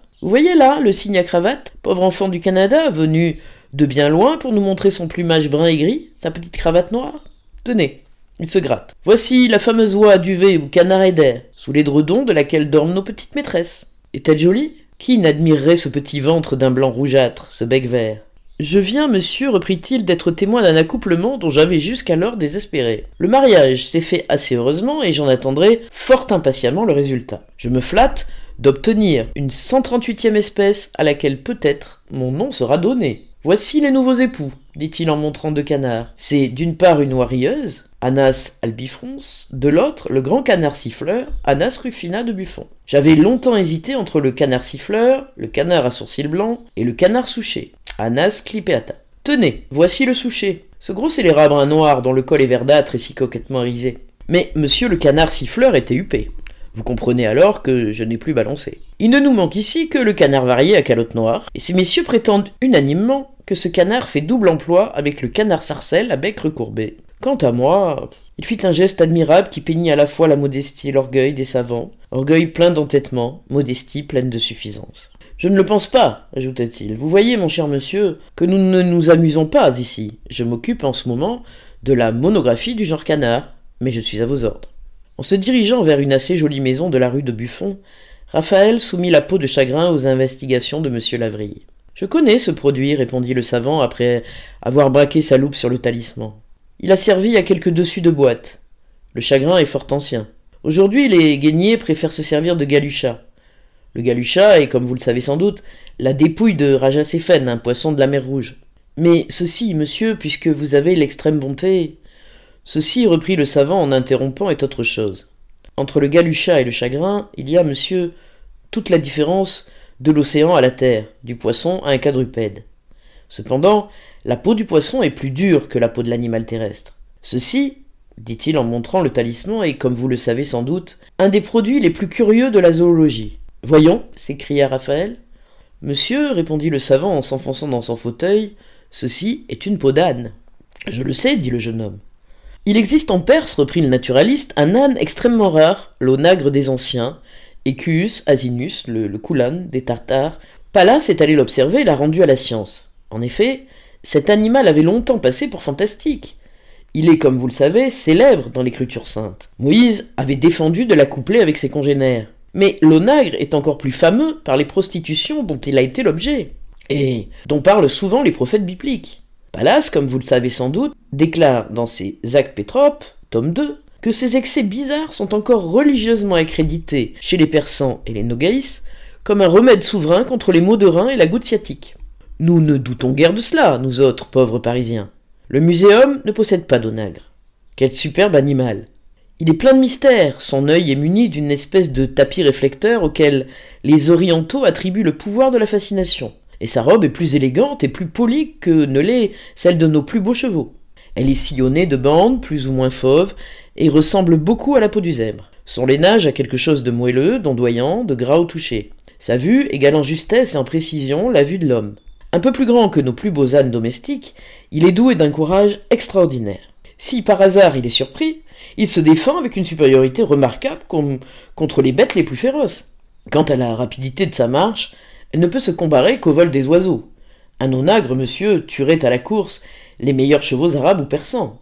D'après le père du consciencieux docteur Niébur, de qui, vous le savez sans doute, nous déplorons la perte récente, le terme moyen du pas ordinaire de ces admirables créatures est de 7000 pas géométriques par heure. Nos ânes dégénérés ne sauraient donner une idée de cet âne indépendant et fier. Il a le port leste, animé, l'air spirituel, fin, une physionomie gracieuse, des mouvements pleins de coquetterie. C'est le roi zoologique de l'Orient. Les superstitions turques et persanes lui donne même une mystérieuse origine, et le nom de Salomon se mêle au récit que les conteurs du Tibet et de la Tartarie font sur les prouesses attribuées à ces nobles animaux. Enfin, un onagre apprivoisé vaut des sommes immenses. Il est presque impossible de le saisir dans les montagnes, où il bondit comme un chevreuil et semble voler comme un oiseau. La fable des chevaux ailés, notre Pégase, a sans doute pris naissance dans ces pays où les bergers ont pu voir souvent un onagre sautant d'un rocher à un autre. Les ânes de sel, obtenus en Perse par l'accouplement d'une ânesse avec un onagre apprivoisé, sont peints en rouge, suivant une immémoriale tradition. Cet usage a donné lieu peut-être à notre proverbe méchant comme un âne rouge. À une époque où l'histoire naturelle était très négligée en France, un voyageur aura, je pense, amené un de ces animaux curieux qui supportent fort impatiemment l'esclavage. De là le dicton.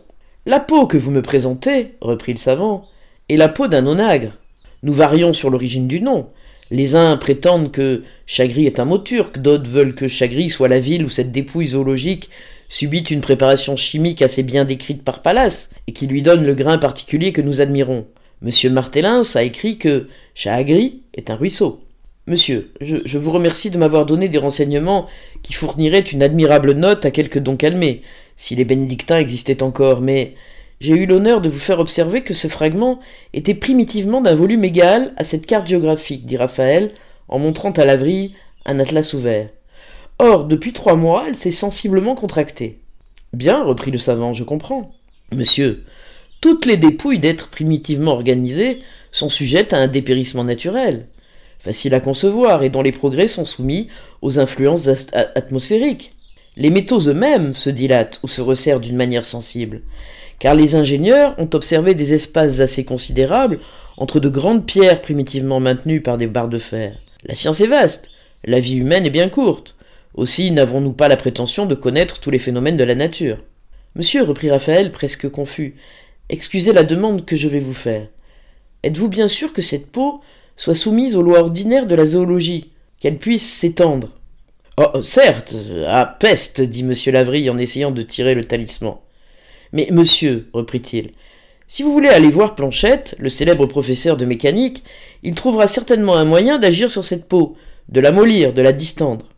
Oh monsieur, vous me sauvez la vie. Raphaël salua le savant naturaliste et courut chez Planchette, en laissant le bon laverie au milieu de son cabinet rempli, rempli de bocaux et de plantes séchées. Il remportait de cette visite, sans le savoir, toute la science humaine, une nomenclature. Ce bonhomme ressemblait à Sancho Pancha, racontant à Don Quichotte l'histoire des chèvres. Il s'amusait à compter des animaux et à les numéroter. Arrivé sur le bord de la tombe, il connaissait à peine une petite fraction des incommensurables nombres de grands troupeaux jetés par Dieu à travers l'océan des mondes dans un but ignoré. Raphaël était content. Je vais tenir mon âme en bride, s'écriait-il. Sterne avait dit avant lui Ménageons notre âme si nous voulons vivre vieux. Mais la bête est si fantasque. Planchette était un grand homme sec, véritable poète perdu dans une perpétuelle contemplation, occupé à regarder toujours un abîme sans fond, le mouvement. Le vulgaire taxe de folie ces esprits sublimes, gens incompris qui vivent dans une admirable insouciance du luxe et du monde, restant des journées entières à fumer un cigarettin ou venant dans un salon sans avoir toujours bien exactement marié les boutons de leurs vêtements avec les boutonnières. Un jour, après avoir longtemps mesuré le vide, ou entassé des X sous des A, A, moins GG, ils ont analysé quelques lois naturelles et décomposé le plus simple des principes. Tout à coup, la foule admire une nouvelle machine ou quelque hacker dont la facile structure nous étonne et nous confond. Le savant modeste sourit en disant à ses admirateurs Qu'ai-je donc créé? Rien. L'homme n'invente pas une force, il la dirige. Et la science consiste à imiter la nature. Raphaël, surprit le mécanicien planté sur ses deux jambes, comme un pendu tombé droit sous sa potence. Planchette examinait une bille d'agate qui roulait sur un cadran solaire, en attendant qu'elle s'y arrêtât. Le pauvre homme n'était ni décoré ni pensionné, car il ne savait pas enluminer ses calculs. Heureux de vivre à l'affût d'une découverte, il ne pensait ni à la gloire ni au monde ni à lui-même, et vivait dans la science pour la science. Cela est indéfinissable, s'écria-t-il. Ah, monsieur, reprit-il en apercevant Raphaël, je suis votre serviteur. Comment va la maman? Allez voir ma femme. J'aurais cependant pu vivre ainsi, pensa Raphaël, qui tira le savant de sa rêverie, en lui demandant le moyen d'agir sur le talisman qu'il lui présenta. Dussiez-vous rire de ma crédulité, monsieur, dit le marquis en terminant, je ne vous cacherai rien. Cette peau me semble posséder une force de résistance contre laquelle rien ne peut prévaloir. Monsieur, dit-il, les gens du monde traitent toujours la science assez cavalièrement, tous nous disent à peu près ce qu'un incroyable disait à la lande, en lui amenant des dames après l'éclipse. Ayez la bonté de recommencer. Quel effet voulez-vous produire? La mécanique a pour but d'appliquer les lois du mouvement ou de les neutraliser. Quant au mouvement en lui-même, je vous le déclare avec humilité, nous sommes impuissants à le définir. Cela posé, nous avons remarqué quelques phénomènes constants qui régissent l'action des solides et des fluides. En reproduisant les codes génératrices de ces phénomènes, nous pouvons transporter les corps, leur transmettre une force locomotive dans les rapports de vitesse déterminés, les lancer, les diviser simplement ou à l'infini, soit que nous les cassions ou les pulvérisions, puis les tordre, leur imprimer une rotation, les modifier, les comprimer, les dilater, les étendre. Cette science, monsieur, repose sur un seul fait. Vous voyez cette bille, reprit-il? Elle est ici, sur cette pierre. La voici maintenant là. De quel nom appellerons-nous cet acte si physiquement naturel et si moralement extraordinaire? Mouvement, locomotion, changement de lieu. Quelle immense vanité cachée sous les mots. Un nom, est-ce donc une solution? Voilà pourtant toute la science. Nos machines emploient ou décomposent cet acte, ce fait. Ce léger phénomène adapté à des masses va faire sauter Paris. Nous pouvons augmenter la vitesse au dépend de la force et la force au dépend de la vitesse. Qu'est-ce que la force et la vitesse? Notre science est inhabile à le dire, comme elle l'est à créer un mouvement. Un mouvement, quel qu'il soit, est un immense pouvoir, et l'homme n'invente pas de pouvoir. Le pouvoir est un, comme le mouvement, l'essence même du pouvoir. Tout est mouvement. La pensée est un mouvement. La nature est établie sur le mouvement. La mort est un mouvement dont les fins nous sont peu connues. Si Dieu est éternel, croyez qu'il est toujours en mouvement. Dieu est le mouvement, peut-être. Voilà pourquoi le mouvement est inexplicable comme lui, comme lui profond, sans borne, incompréhensible, intangible. Qui jamais a touché, compris, mesuré le mouvement Nous en sentons les effets sans les voir. Nous pouvons même le nier comme nous nions Dieu. Où est-il Où n'est-il pas? D'où part-il? Où en est le principe? Où en est la fin? Il nous enveloppe, nous presse et nous échappe. Il est évident comme un fait, obscur comme une abstraction, tout à la fois effet et cause. Il lui faut, comme à nous, l'espace. Et qu'est-ce que l'espace? Le mouvement seul nous le révèle. Sans le mouvement, il n'est plus qu'un mot vide de sens. Problème insoluble, semblable au vide, semblable à la création, à l'infini, le mouvement confond la pensée humaine, et tout ce qu'il est permis à l'homme de concevoir, c'est qu'il ne le concevra jamais. Entre chacun des points successivement occupés par cette bille dans l'espace, reprit le savant, il se rencontre un abîme pour la raison humaine. Un abîme où est tombé Pascal. Pour agir sur la substance inconnue que vous voulez soumettre à une force inconnue, nous devons d'abord étudier cette substance. D'après sa nature, où elle se brisera sous un choc, où elle y résistera. Si elle se divise et que votre intention ne soit pas de la partager, nous n'atteindrons pas le but proposé. Voulez-vous la comprimer? Il faut transmettre un mouvement égal à toutes les parties de la substance, de manière à diminuer uniformément l'intervalle qui les sépare. Désirez-vous l'étendre? Nous devrons tâcher d'imprimer à chaque molécule une force excentrique égale. Car, sans l'observation exacte de cette loi, nous y produirions des solutions de continuité. Il existe, monsieur, des modes infinis, des combinaisons sans bornes dans le mouvement. À quel effet vous arrêtez-vous? Monsieur, dit Raphaël impatienté, je désire une pression quelconque assez forte pour étendre indéfiniment cette peau. La substance étant finie, répondit le mathématicien, ne saurait être indéfiniment distendue. Mais la compression multipliera nécessairement l'étendue de sa surface aux dépens de l'épaisseur. Elle s'amincira jusqu'à ce que la matière manque. Obtenez ce résultat, monsieur, s'écria Raphaël, et vous en aurez gagné des millions. Je vous volerai votre argent, répondit le professeur avec le flegme d'un Hollandais. Je vais vous démontrer en deux mots l'existence d'une machine sous laquelle Dieu lui-même serait écrasé comme une mouche. Elle réduirait un homme à l'état de papier brouillard. Un homme botté, prôné, cravaté, chapeau, or, bijoux, tout. Quelle horrible machine. Au lieu de jeter leurs enfants à l'eau, les Chinois devraient les utiliser ainsi, reprit le savant sans penser au respect de l'homme pour sa progéniture. Tout entier à son idée, Planchette prit un pot de fleurs vides, troué dans le fond, et la porta sur la dalle du gnomon. Puis il alla chercher un peu de terre glaise dans un coin du jardin. Raphaël resta charmé comme un enfant auquel sa nourrice conte une histoire merveilleuse. Après avoir posé sa terre glaise sur la dalle, Planchette tira de sa poche une serpette, coupa deux branches de sureau et se mit à les vider en sifflant comme si Raphaël n'eût pas été là. Voilà les éléments de la machine, dit-il. Il attacha par un coup terre glaise l'un de ses tuyaux de bois au fond du pot, de manière à ce que le trou du sureau correspondît à celui du vase. Vous eussiez dit une énorme pipe. Il étala sur la dalle un lit de glaise en lui donnant la forme d'une pelle, assit le pot de fleurs dans la partie la plus large et fixa la branche de sureau dans la portion qui représentait le manche.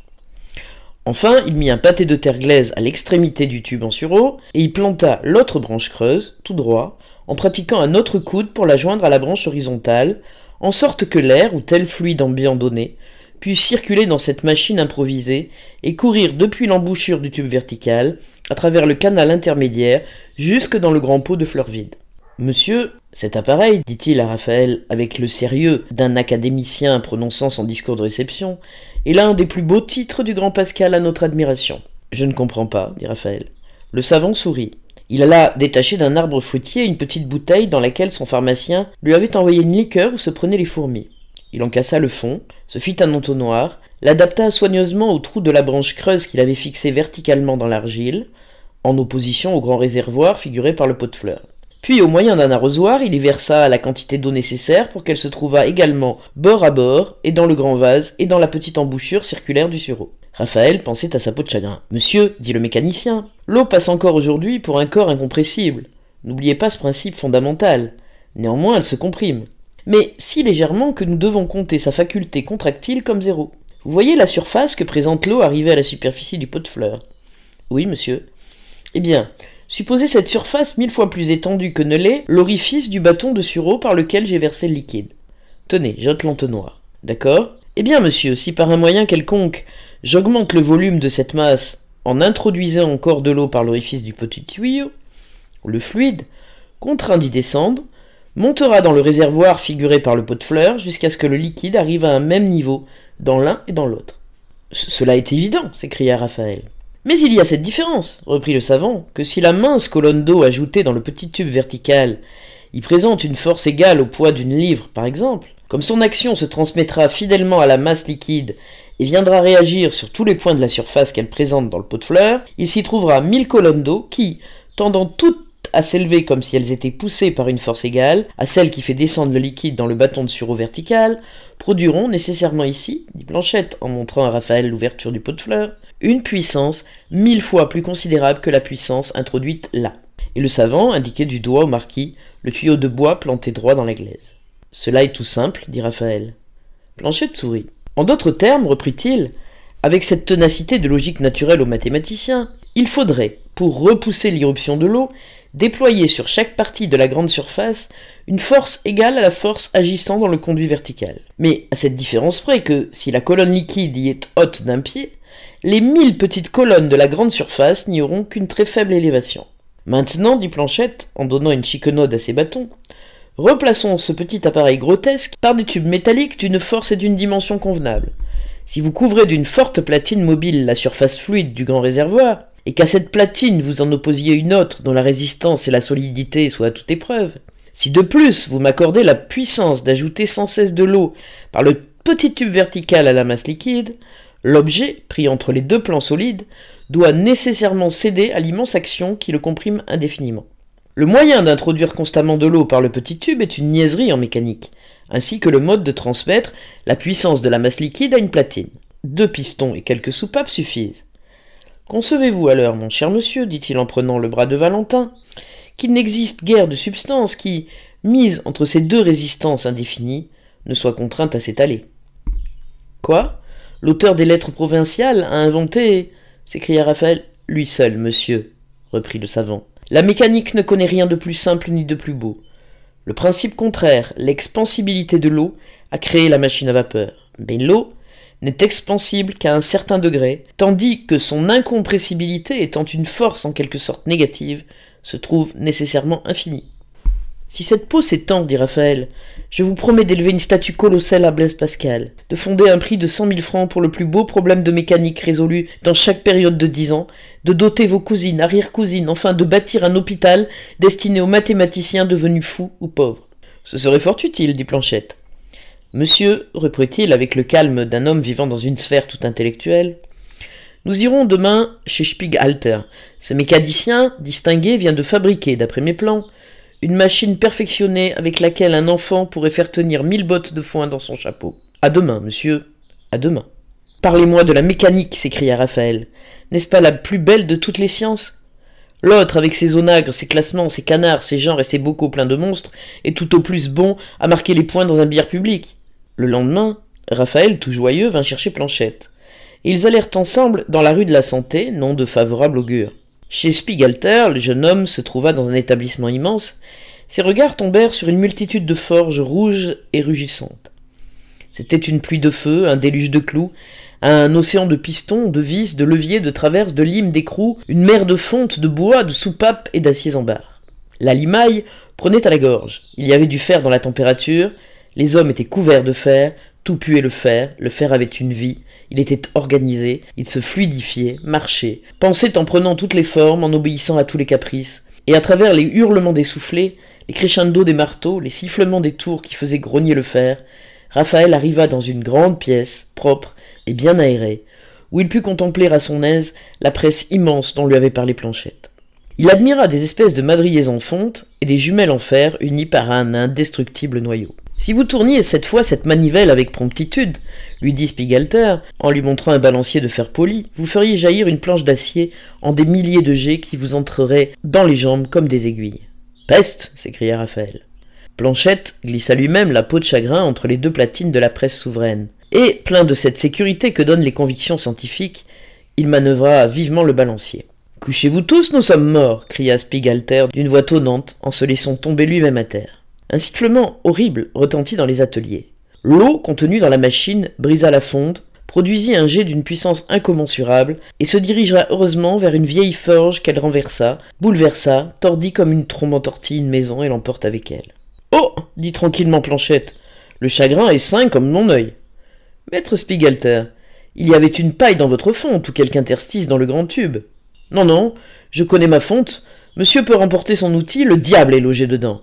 L'Allemand saisit un marteau de forgeron, jeta la peau sur une enclume et, de toute la force que donne la colère, déchargea sur le talisman le plus terrible coup qui jamais eût mugi dans ses ateliers. Il n'y paraît seulement pas, s'écria Planchette en caressant le chagrin rebelle.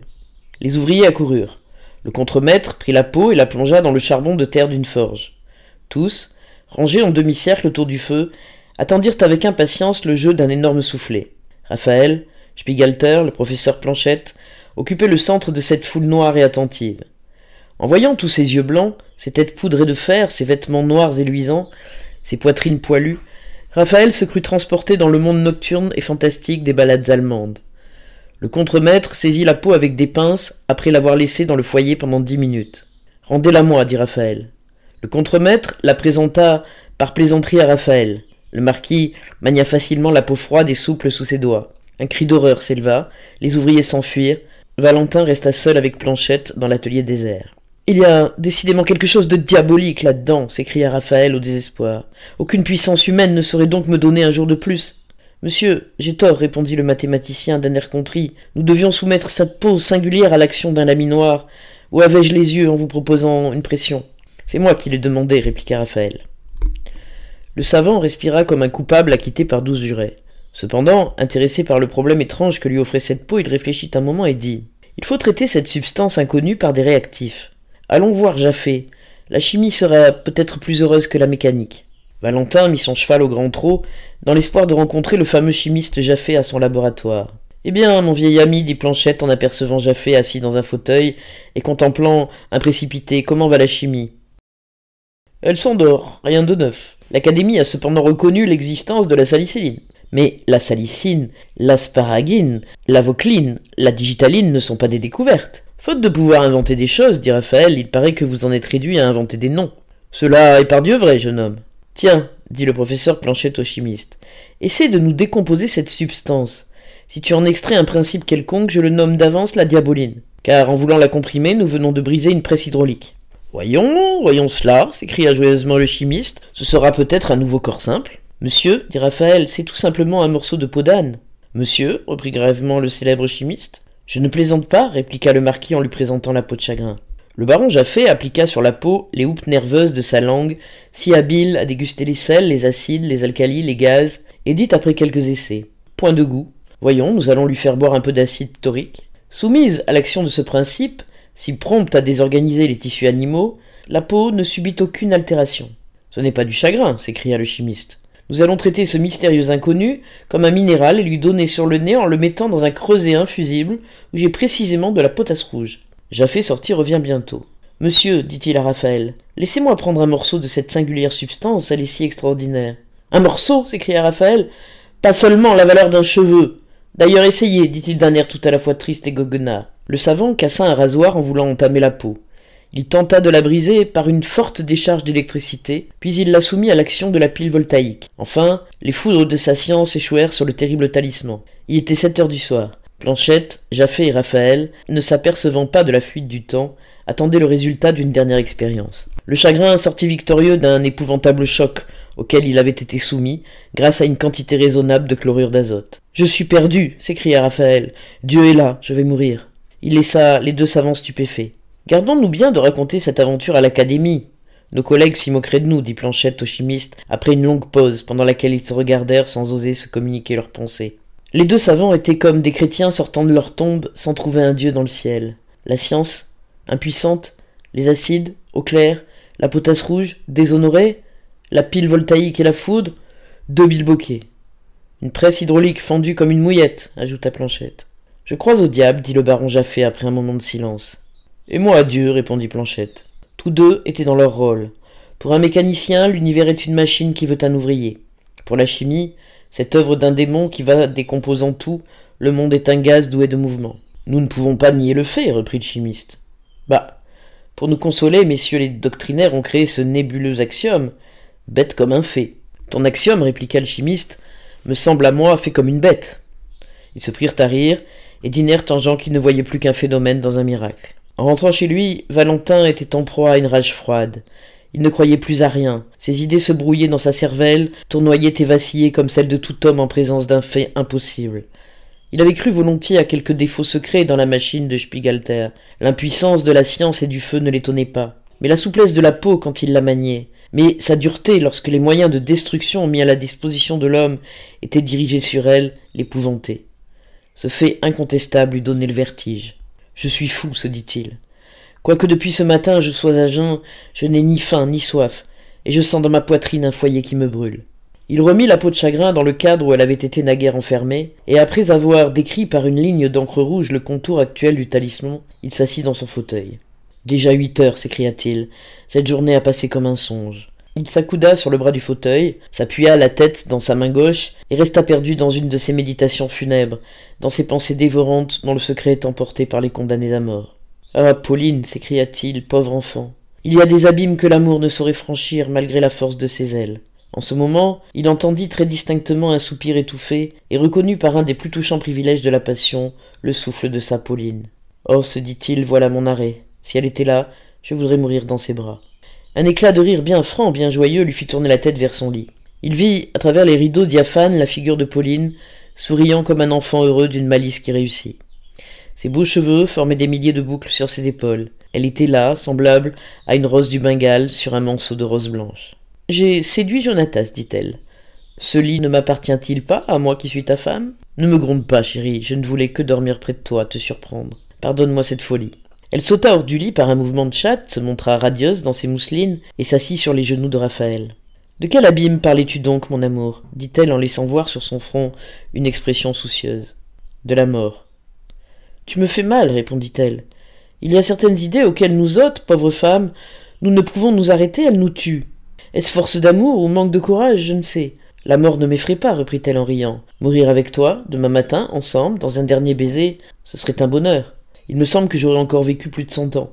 Qu'importe le nombre de jours, si dans une nuit, dans une heure, nous avons épuisé toute une vie de paix et d'amour. Tu as raison, le ciel parle par ta jolie bouche. Donne que je la baise et mourrons, dit Raphaël. Mourons donc Mourons donc, répondit-elle en riant. Vers les neuf heures du matin, le jour passait à travers les fentes des persiennes. Amoindri par la mousseline des rideaux, il permettait encore de voir les riches couleurs du tapis et les meubles soyeux de la chambre où reposaient les deux amants. Quelques dorures étincelaient. Un rayon de soleil venait mourir sur le molle édredon que les jeux de l'amour avaient jeté par terre. Suspendue à une grande psyché, la robe de Pauline se dessinait comme une vaporeuse apparition. Les souliers mignons avaient été laissés loin du lit. Un rossignol vint se poser sur l'appui de la fenêtre. Ses gazouillements répétés, le bruit de ses ailes soudainement déployées quand il s'envola, réveillèrent Raphaël. Pour mourir, dit-il en achevant une pensée commencée dans son rêve, il faut que mon organisation, ce mécanisme de chair et d'os animé par ma volonté, et qui fait de moi un individu homme, présente une lésion sensible. Les médecins doivent connaître les symptômes de la, de la vitalité attaquée, et pouvoir me dire si je suis en santé ou malade. Il contempla sa femme endormie qui lui tenait la tête, exprimant ainsi, pendant le sommeil, les tendres sollicitudes de l'amour.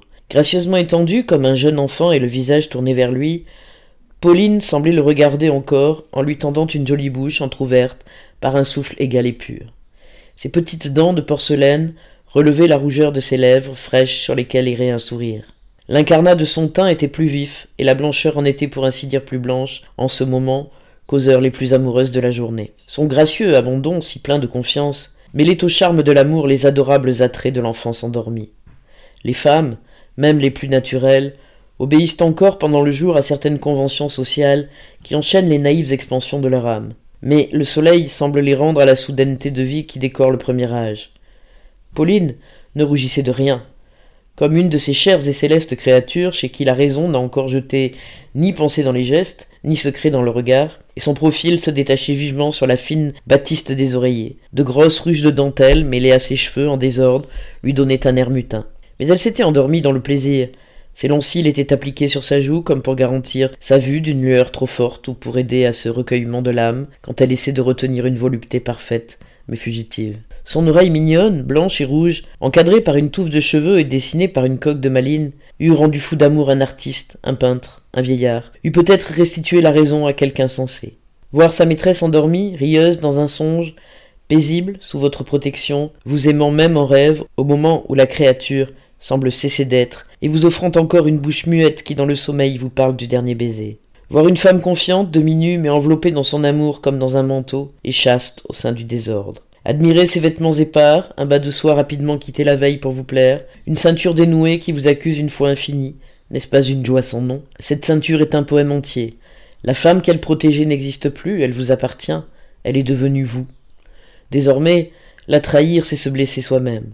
Raphaël, attendri, contempla cette chambre chargée d'amour, pleine de souvenirs, où le jour prenait des teintes voluptueuses, et revint à cette femme aux formes pures, jeune, aimante encore, dont surtout les sentiments étaient à lui sans partage. Il désira vivre toujours. Quand son regard tomba sur Pauline, elle ouvrit aussitôt les yeux comme si un rayon de soleil l'eût frappé. Bonjour, ami, dit-elle en souriant. Es-tu beau, méchant? Ces deux têtes empreintes d'une grâce due à l'amour, à la jeunesse, au demi-jour et au silence, formaient une de ces divines scènes dont la magie passagère n'appartient qu'au premier jour de la passion, comme la naïveté, la candeur sont les attributs de l'enfance. Hélas, ces joies printanières de l'amour, de même que les rires de notre jeune âge, doivent s'enfuir et ne plus vivre que dans notre souvenir, pour nous désespérer ou nous jeter quelques parfums consolateurs, selon les caprices de nos méditations secrètes. Pourquoi t'es-tu réveillé dit Raphaël. J'avais tant de plaisir à te voir endormi, j'en pleurais. Et moi aussi, répondit-elle, j'ai pleuré cette nuit en te contemplant dans ton repos, mais non pas de joie. Écoute, mon Raphaël, écoute-moi. Lorsque tu dors, ta respiration n'est pas franche. Il y a dans ta poitrine quelque chose qui résonne et qui m'a fait très peur. Tu as pendant ton sommeil une petite toux sèche, absolument semblable à celle de mon père qui meurt d'une phtisie. J'ai reconnu, dans le bruit de tes poumons, quelques-uns des effets bizarres de cette maladie. Puis tu avais la fièvre, j'en suis sûr. Ta main était moite et brûlante. Chérie, tu es jeune, dit-elle en frissonnant. Tu pourrais te guérir encore si, par malheur. Mais non, s'écria-t-elle joyeusement, il n'y a pas de malheur. La maladie se gagne, disent les médecins.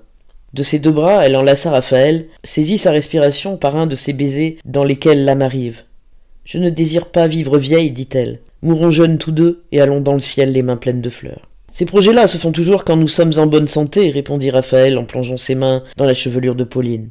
Mais il eut alors un horrible accès de toux, de ces toux graves et sonores qui semblent sortir d'un cercueil, qui font pâlir le front des malades et les laissent tremblants tout en sueur, après avoir remué leurs nerfs, ébranlé leurs côtes, fatigué leurs moelle épinières et imprimé je ne sais quelle douleur à leurs veines. Raphaël, abattu, pâle, se coucha lentement, affaissé comme un homme dont toute la force s'est dissipée dans un dernier effort. Pauline le regarda d'un œil fixe, agrandi par la peur, et resta immobile, blanche, silencieuse. Ne faisons plus de folie, mon ange, dit-elle en voulant cacher à Raphaël les horribles pressentiments qui l'agitaient. Elle se voila la figure de ses mains, car elle apercevait le hideux squelette de la mort. La tête de Raphaël était devenue livide et creuse comme un crâne arraché aux profondeurs d'un cimetière pour servir aux études de quelques savants. Pauline se souvenait de l'exclamation échappée la veille à Valentin et se dit à elle-même Oui, il y a des abîmes que l'amour ne peut pas traverser, mais il doit s'y ensevelir. Quelques jours après cette scène de désolation, Raphaël se trouva par une matinée du mois de mars assis dans un fauteuil, entouré de quatre médecins qu'il avait fait placer au jour devant la fenêtre de sa chambre, et tour à tour lui tâtaient le pouls, le palpaient, l'interrogeaient avec une apparence d'intérêt. Le malade épiait leurs pensées en interprétant leurs gestes et les moindres plis qui se formaient sur leur front. Cette consultation était sa dernière espérance. Ses juges suprêmes allaient lui prononcer un arrêt de vie ou de mort. Aussi, pour arracher à la science humaine son dernier mot, Valentin avait-il convoqué les oracles de la médecine moderne. Grâce à sa fortune et à son nom, les trois systèmes entre lesquels flottent les connaissances humaines étaient là devant lui. Trois de ces docteurs portaient avec eux toute la philosophie médicale en représentant le combat que se livre la spiritualité, l'analyse et je ne sais quel éclectisme railleur.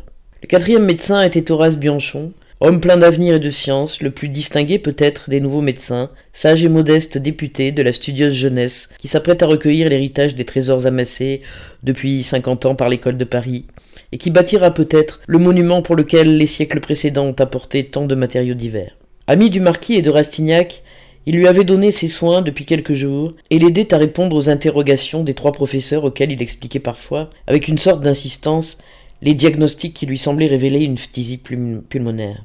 Vous avez sans doute fait beaucoup d'excès, mené une vie dissipée, vous êtes livré à de grands travaux d'intelligence dit à Raphaël, celui des trois célèbres docteurs dont la tête carrée, la figure large, l'énergique organisation, paraissait annoncer un génie supérieur à celui de ses deux antagonistes. J'ai voulu me tuer par la débauche, après avoir travaillé pendant trois ans à un vaste ouvrage dont vous vous occuperez peut-être un jour, lui répondit Raphaël. Le grand docteur hocha la tête en signe de contentement et, comme s'il se fût dit en lui-même, j'en étais sûr. Ce docteur était l'illustre Brisset, le chef des organistes, le successeur des Cabanis et des Bichat, le médecin des esprits positifs et matérialistes, qui voit en l'homme un être fini, uniquement sujet aux lois de sa propre organisation, et dont l'état normal ou les anomalies délétères s'expliquent par des causes évidentes. À cette réponse, Brisset regarda silencieusement un homme de moyenne taille, dont le visage empourpré, l'œil ardent, semblait appartenir à quelque satire antique, et qui, le dos appuyé sur le coin de l'embrasure, contemplait attentivement Raphaël sans mot dire. Homme d'exaltation et de croyance, le docteur Caméristus, chef des vitalistes, le poétique défenseur des doctrines abstraites devant Telmont, voyait dans la vie humaine un principe élevé, secret, un phénomène inexplicable qui se joue des bistouris, trompe la chirurgie, échappe aux médicaments de la pharmaceutique, aux X de l'algèbre, aux démonstrations de l'anatomie, et se rit de nos efforts. Une espèce de flamme intangible, invisible, soumise à quelques lois divines, et qui reste souvent au milieu d'un corps condamné par nos arrêts, comme elle déserte aussi les organisations les plus viables. Un sourire sardonique errait sur les lèvres du troisième, le docteur Maugredi, esprit distingué mais pyrrhonien et moqueur, qui ne croyait qu'au scalpel, concédait à Brisset la mort d'un homme qui se portait à merveille, et reconnaissait avec Caméristus qu'un homme pouvait vivre encore après sa mort. Il trouvait du bon dans toutes les théories, n'en adoptait aucune, prétendait que le meilleur système médical était de n'en point avoir et de s'en tenir aux faits. Panurge de l'école, roi de l'observation, ce grand explorateur, ce grand railleur, l'homme des tentatives désespérées, examinait la peau de chagrin. Je voudrais bien être témoin de la coïncidence qui existe entre vos désirs et son rétrécissement, dit-il au marquis. À quoi bon s'écria Brisset. À quoi bon répéta Caméristus. Ah, vous êtes d'accord, répondit Maugredi. Cette contraction est toute simple, ajouta Brisset. Elle est surnaturelle, dit Caméristus. En effet, répliqua Maugredi en affectant un air grave et rendant à Raphaël sa peau de chagrin. Le racornissement du cuir est un fait inexplicable et cependant naturel, qui, depuis l'origine du monde, fait le désespoir de la médecine et des jolies femmes. À force d'examiner les trois docteurs, Valentin ne découvrit en eux aucune sympathie pour ces mots. Tous trois, silencieux à chaque réponse, le toisaient avec indifférence et le questionnaient sans le plaindre. La nonchalance perçait à travers leur politesse. Soit certitude, soit réflexion, leurs paroles étaient si rares, si indolentes que par moments Raphaël les crut distraits. De temps à autre, Brisset seul répondait. Bon, bien, à tous les symptômes désespérants dont l'existence était démontrée par Bianchon. Caméristus demeurait plongé dans une profonde rêverie. Maugredi ressemblait à un auteur comique étudiant deux originaux pour les transporter fidèlement sur la scène. La figure d'Horace trahissait une peine profonde, un attendrissement plein de tristesse. Il était médecin depuis trop peu de temps pour être insensible devant la douleur et impassible près d'un lit funèbre. Il ne savait pas éteindre dans ses yeux les larmes amies qui empêchent un homme de voir clair et de saisir, comme un général d'armée, le moment propice à la victoire, sans écouter les cris des moribonds. Après être resté pendant une demi-heure environ à prendre en quelque sorte la mesure de la maladie et du malade, comme un tailleur prend la mesure d'un habit à un jeune homme qui lui commande ses vêtements de noces, ils dirent quelques lieux communs, parlèrent même des affaires publiques, puis ils voulurent passer dans le cabinet de Raphaël pour se communiquer leurs idées et rédiger la sentence. Messieurs, leur dit Valentin, ne puis-je donc assister au débat? À ce mot, Brisset et Maugredi se récrièrent vivement, et malgré les instances de leur malade, ils se refusèrent à délibérer en sa présence. Raphaël se soumit à l'usage, en pensant qu'il pouvait se glisser dans un couloir d'où il entendrait facilement les discussions médicales auxquelles les trois professeurs allaient se livrer. Messieurs, dit Brisset en entrant, permettez-moi de vous donner promptement mon avis. Je ne veux ni vous l'imposer ni le voir controversé. D'abord, il est net, précis, et résulte d'une similitude complète entre un de mes malades et le sujet que nous avons été appelés à examiner. Puis, je suis attendu à mon hospice. L'importance du fait qui réclame ma présence m'excusera de prendre le premier la parole. Le sujet qui nous occupe est également fatigué par des travaux intellectuels. Qu'a-t-il donc fait, Horace? dit-il en s'adressant au jeune médecin. Une théorie de la volonté. Ah, diable, mais c'est un vaste sujet. Il est fatigué, dis-je, par des excès de pensée, par des écarts de régime, par l'emploi répété de stimulants trop énergétiques. L'action violente du corps et du cerveau a donc vicié le jeu de tout l'organisme. Il est facile, messieurs, de reconnaître dans les symptômes de la face et du corps une irritation prodigieuse à l'estomac, la névrose du grand sympathique, la vive sensibilité de l'épigastre et le resserrement des hypochondres. Vous avez remarqué la grosseur et la saillie du foie.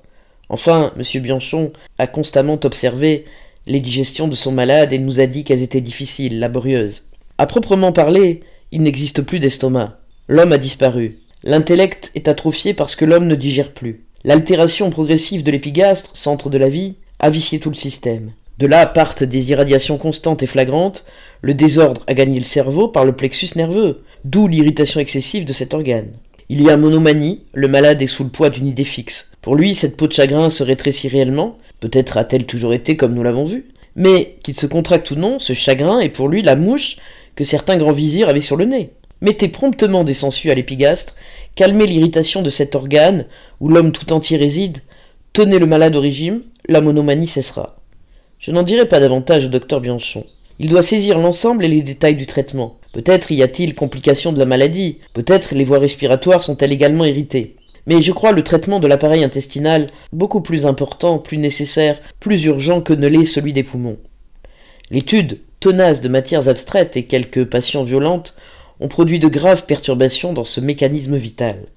Cependant, il est temps encore d'en redresser les ressorts, rien n'y est trop fortement adultéré.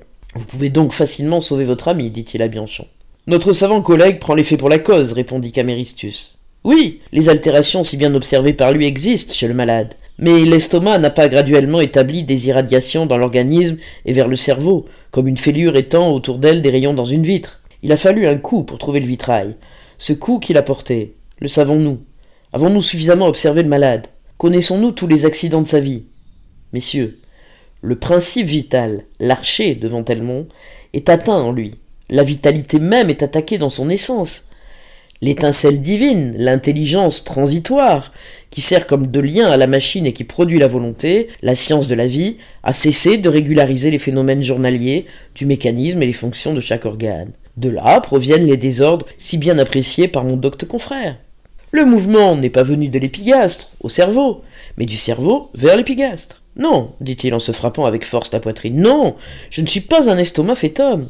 Non, tout n'est pas là. Je ne me sens pas le courage de dire que si j'ai un bon épigastre, le reste est de forme. Nous ne pouvons pas, reprit-il plus doucement, soumettre à une même cause physique et à un traitement uniforme les troubles graves qui surviennent chez les différents sujets plus ou moins sérieusement atteints. Aucun homme ne se ressemble. Nous avons tous des organes particuliers, diversement affectés, diversement nourris, propres à remplir des missions différentes, et à développer des thèmes nécessaires à l'accomplissement d'un ordre de choses qui nous est inconnu. La portion du grand tout, qui par une haute volonté vient opérer, entretenir en nous le phénomène de l'animation, se formule d'une manière distincte dans chaque homme, et fait de lui un être en apparence fini, mais qui par un point coexiste à une cause infinie. Aussi, devons-nous étudier chaque sujet séparément, le pénétrer, reconnaître en quoi consiste sa vie, quelle en est la puissance. Depuis la mollesse d'une éponge mouillée jusqu'à la dureté d'une pierre ponce, il y a des nuances infinies. Voilà l'homme, entre les organisations spongieuses des lymphatiques et la vigueur métallique des muscles de quelque homme destiné à une longue vie, que d'erreur ne commettra pas le système unique, implacable, de la guérison par l'abattement, par la prostration des forces humaines que vous supposez toujours irritées. Et si donc, je voudrais un, un traitement tout moral, un examen approfondi de l'être intime. Allons chercher la cause du mal dans les entrailles de l'âme et non dans les entrailles du corps. Un médecin est un être inspiré, doué d'un génie particulier, à qui Dieu concède le pouvoir de lire dans la vitalité, comme il donne aux prophètes des yeux pour contempler l'avenir, aux poètes la faculté d'évoquer la nature, aux musiciens celle d'arranger les sons dans un ordre harmonieux dont le type est en haut, peut-être. Toujours sa médecine absolutiste, monarchique et religieuse, dit Brisset en murmurant. Messieurs, reprit promptement Maugredie, en couvrant avec promptitude l'exclamation de Brisset, ne perdons pas de vue le malade. Voilà donc où en est ma science, s'écria tristement Raphaël. Ma guérison flotte entre un rosaire et un chapelet de sangsue, entre le bistouri du Dupuytren et la prière du prince de Hohenlohe. Sur la ligne qui sépare le fait de la parole, la matière de l'esprit, Maugredi est là, doutant. Le oui et non humain me poursuit partout. Toujours le Carimari, le Carimara de Rabelais. Je suis spirituellement malade, Carimari. Ou matériellement malade, Carimara. Dois-je vivre? Il l'ignore. Au moins Planchette était-il plus franc en me disant Je ne sais pas. En ce moment, Valentin entendit la voix du docteur Maugredie. Le malade est monomane, eh bien, d'accord, s'écria-t-il, mais il a deux cent mille livres de rente. Ces monomanes-là sont fort rares, et nous leur devons au moins un avis. Quant à savoir si son épigastre a réagi sur le cerveau, ou le cerveau sur son épigastre, nous pourrons peut-être vérifier le fait quand il sera mort. Résumons-nous donc. Il est malade, le fait est incontestable. Il lui faut un traitement quelconque. Laissons les doctrines. Mettons-lui des sangsues pour calmer l'irritation intestinale et la névrose sur l'existence desquelles nous sommes d'accord. Puis, envoyons-le aux os. Nous agirons à la fois d'après les deux systèmes. S'il est pulmonique, nous ne pouvons guère le sauver ainsi. Raphaël quitta promptement le couloir et vint se remettre dans son fauteuil. Bientôt les quatre médecins sortirent du cabinet. Horace porta la parole et lui dit Ces messieurs ont unanimement reconnu la nécessité d'une application immédiate de sangsues à l'estomac, et l'urgence d'un traitement à la fois physique et moral. D'abord un régime diététique afin de calmer l'irritation de votre organisme. Ici, Brisset fit un signe d'approbation. Puis un régime hygiénique pour régir votre morale. Ainsi, nous vous conseillons unanimement d'aller aux eaux d'Aix-en-Savoie ou celles du Mont-d'Or, en Auvergne, si vous les préférez. L'air et les sites de la Savoie sont plus agréables que ceux du Cantal, mais vous suivrez votre goût. Là, le docteur Caméristus laissa échapper un geste d'assentiment. Ces messieurs, reprit Bianchon, ayant reconnu de légères altérations dans l'appareil respiratoire, sont tombés d'accord sur l'utilité de mes prescriptions antérieures.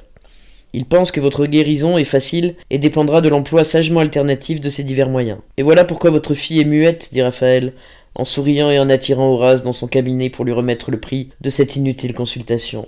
Ils sont logiques, lui répondit le jeune médecin. Caméristus semble, il s'examine, Maugredi doute. L'homme n'a-t-il pas une âme, un corps et une raison? L'une de ces trois causes premières agit en nous d'une manière plus ou moins forte, et il y aura toujours de l'homme dans la science humaine. Crois-moi, Raphaël, nous ne guérissons pas, nous aidons à guérir. Entre la médecine de Brisset et celle de Caméristus se trouve encore la médecine expectante. Mais pour pratiquer celle-ci avec succès, il faudrait connaître son malade depuis dix ans. Il y a au fond de la médecine négation comme dans toutes les sciences. Tâche donc de vivre sagement. Essaie d'un voyage en Savoie. Le mieux est et sera toujours de se confier à la nature. Un mois après, au retour de la promenade et par une belle soirée d'été, quelques-unes des personnes venues aux eaux d'Aix se trouvèrent réunies dans les salons du cercle. Assis près d'une fenêtre en tournant le dos à l'assemblée, Raphaël resta longtemps seul, plongé dans une de ces rêveries machinales durant lesquelles nos pensées naissent, s'enchaînent, s'évanouissent, sans revêtir de forme, et passent en nous comme des légers nuages à peine colorés. La tristesse est alors douce, la joie est vaporeuse, et l'âme est presque endormie. Se laissant aller à cette vie sensuelle, Valentin se baignait dans la tiède atmosphère du soir en savourant l'air pur et parfumé des montagnes, heureux de ne sentir aucune douleur et d'avoir enfin réduit au silence sa menaçante peau de chagrin. Au moment où les teintes rouges du couchant s'éteignirent sur les cimes, la température fraîchit, il quitta sa place en poussant la fenêtre. Monsieur, lui dit une vieille dame, auriez-vous la complaisance de ne pas fermer la croisée, nous étouffons? Cette phrase déchira le tympan de Raphaël par des dissonances d'une aigreur singulière. Elle fut comme le mot que lâche imprudemment un homme à l'amitié duquel nous voulions croire, et qui détruit quelque douce illusion de sentiment en trahissant un abîme d'égoïsme. Le marquis jeta sur la vieille femme le froid regard d'un diplomate impassible. Il appela un valet et lui dit sèchement quand il arriva Ouvrez cette fenêtre. À ces mots, une surprise insolite éclata sur tous les visages. L'assemblée se mit à chuchoter en regardant le malade d'un air plus ou moins expressif, comme s'il eût commis quelque grave impertinence. Raphaël, qui n'avait pas entièrement dépouillé sa primitive timidité de jeune homme, eut un mouvement de honte. Mais il secoua sa torpeur, reprit son énergie et se demanda compte à lui-même de cette scène étrange. Soudain, un rapide mouvement anima son cerveau, le passé lui apparut dans une vision distincte, où les causes du sentiment qu'il inspirait saillirent en relief, comme les veines d'un cadavre, chez lequel, par quelques savantes injections, les naturalistes colorent les moindres ramifications. Il se reconnut lui-même dans ce tableau fugitif. Il suivit son existence, jour par jour, pensée à pensée.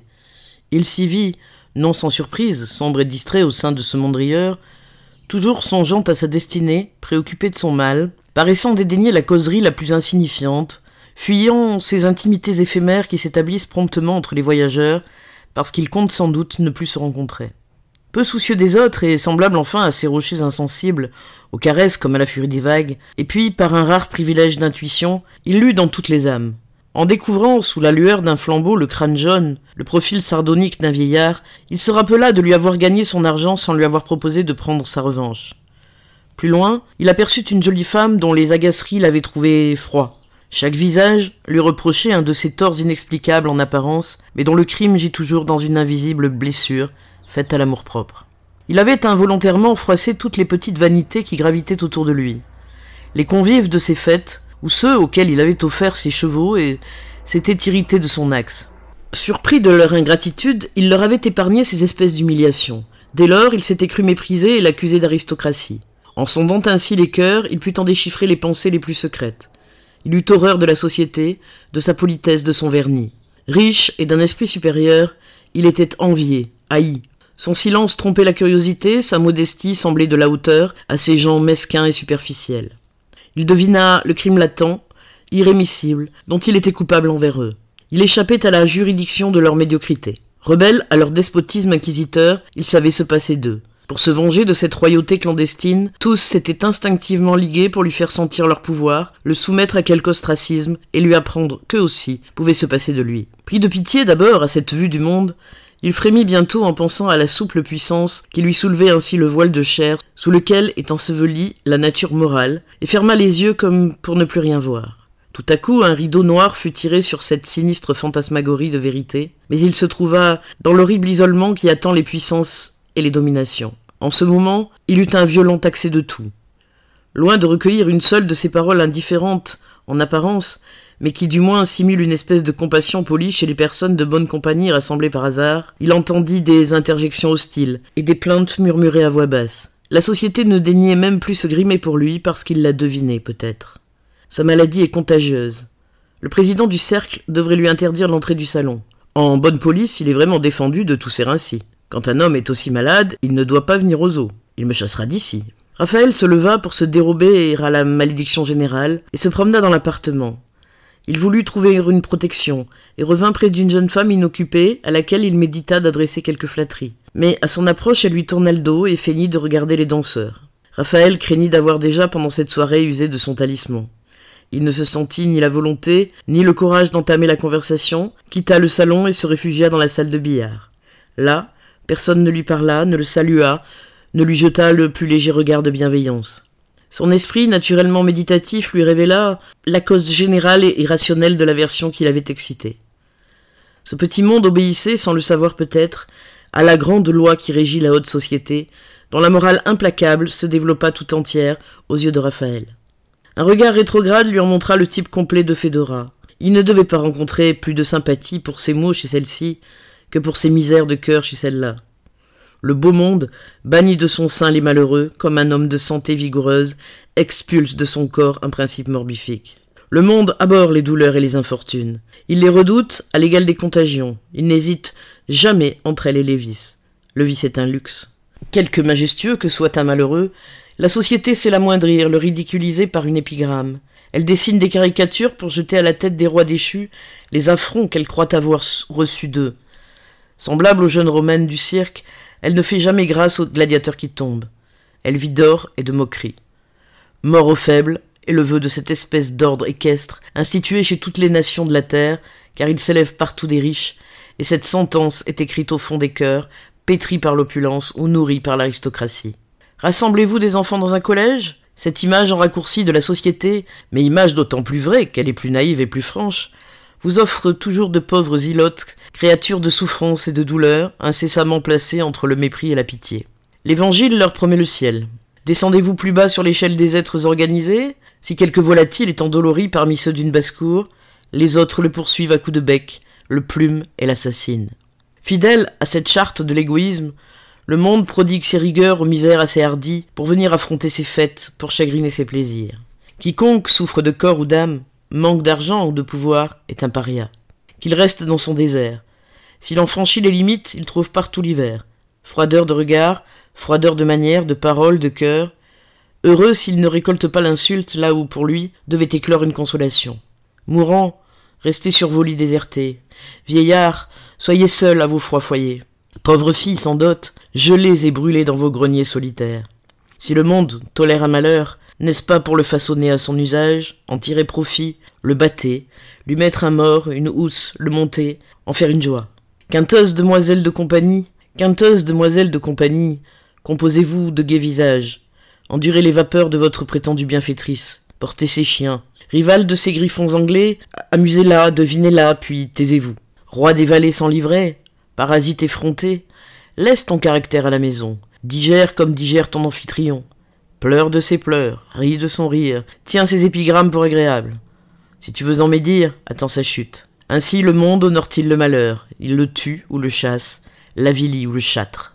Ces réflexions sourdirent au cœur de Raphaël avec la promptitude d'une inspiration poétique. Il regarda autour de lui et sentit ce froid sinistre que la société distille pour éloigner les misères et qui saisit l'âme encore plus vivement que la bise de décembre ne glace le corps. Il se croisa les bras sur la poitrine, s'appuya le dos à la muraille et tomba dans une mélancolie profonde. Il songeait au peu de bonheur que cette épouvantable police procure au monde. Qu'était-ce?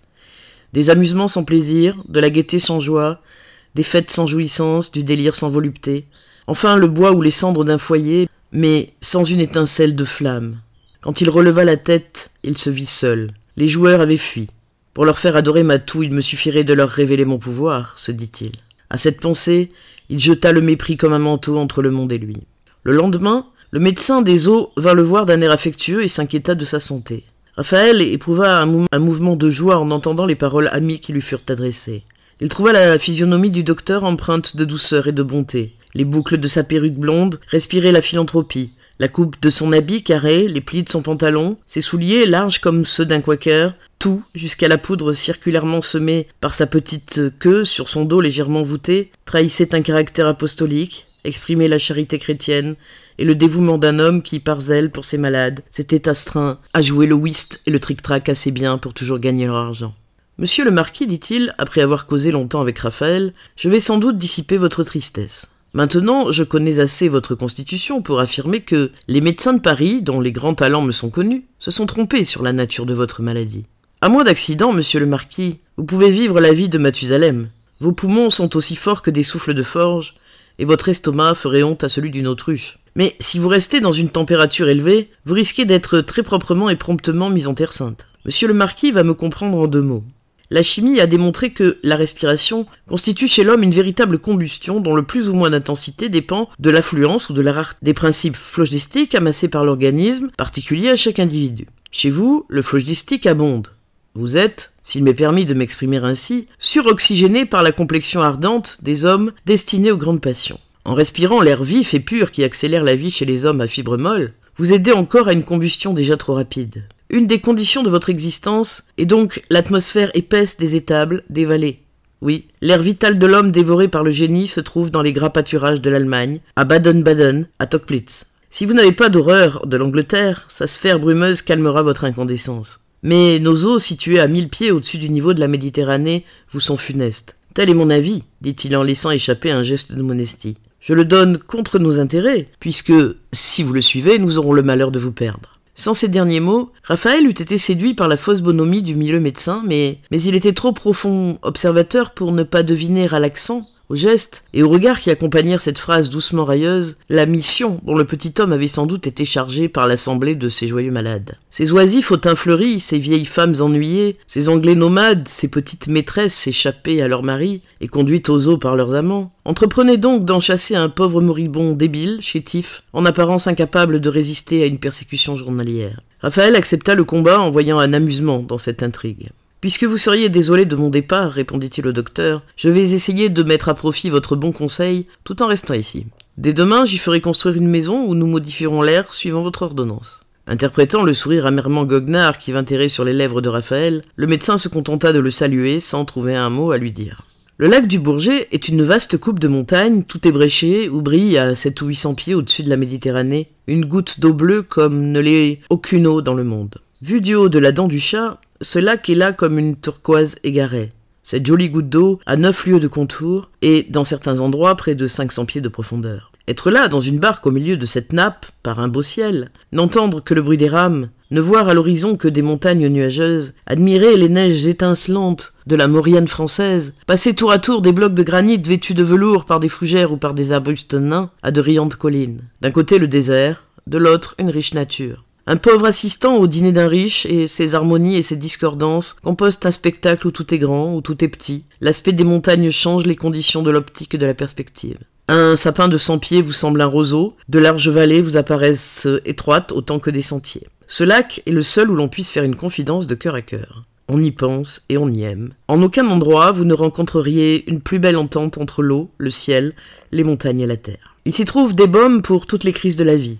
Ce lieu garde le secret des douleurs, il les console, les amoindrit, et jette dans l'amour je ne sais quoi de grave, de recueilli, qui rend la passion plus profonde, plus pure. Un baiser s'y agrandit.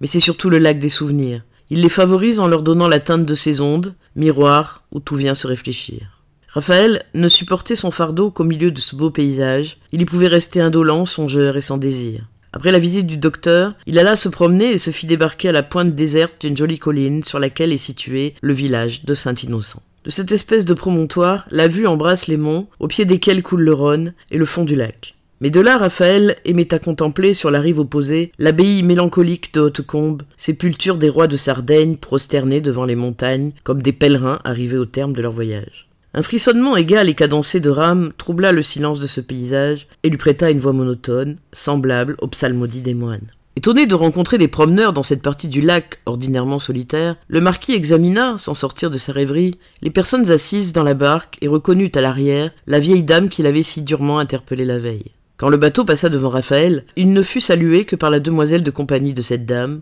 pauvre fille noble qu'il lui semblait voir pour la première fois. Déjà, depuis quelques instants, il avait oublié les promeneurs promptement disparus derrière le promontoire, lorsqu'il entendit près de lui le frôlement d'une robe et le bruit de pas légers.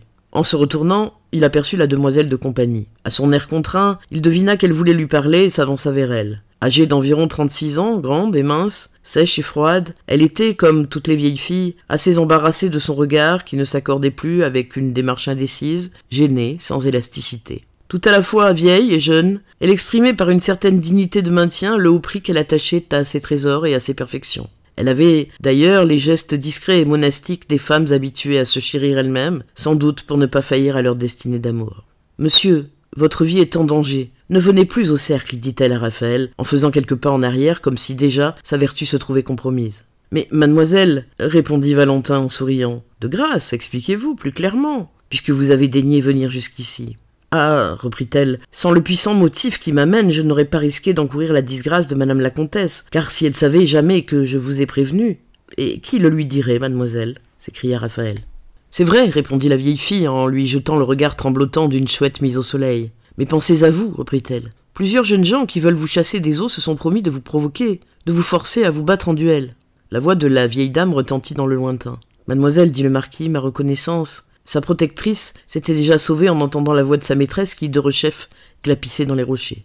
Pauvre fille. Les misères s'entendent et se secourent toujours, pensa Raphaël en s'asseyant au pied de son arbre. La clé de toutes les sciences est sans contredit le point d'interrogation. Nous devons la plupart des grandes découvertes au comment, et la sagesse dans la vie consiste peut-être à se demander à tout propos pourquoi. Mais aussi cette factice préscience détruit-elle nos illusions Ainsi, Valentin, Ayant pris sans préméditation de philosophie la bonne action de la vieille fille pour texte de ses pensées vagabondes, la trouva pleine de fiel. Que je sois aimé d'une demoiselle de compagnie, se dit-il, il n'y a rien là d'extraordinaire. J'ai vingt-sept ans, un titre et deux cent mille livres de rente. Mais que sa maîtresse, qui dispute aux chattes la palme de l'hydrophobie, les menait en bateau, près de moi, n'est-ce pas chose étrange et merveilleuse?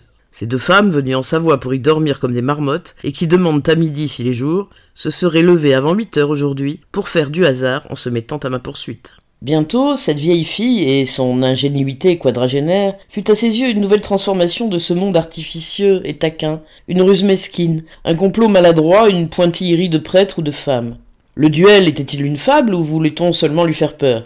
Insolente et tracassière comme des mouches, ces âmes étroites avaient réussi à piquer sa vanité, à réveiller son orgueil, à exciter sa curiosité. Ne voulant ni devenir leur dupe, ni passer pour un lâche, et amusé peut-être par ce petit drame, il vint au cercle le soir même. Il se tint debout, accoudé sur le marbre de la cheminée, et resta tranquille au milieu du salon principal, en s'étudiant à ne donner aucune prise sur lui.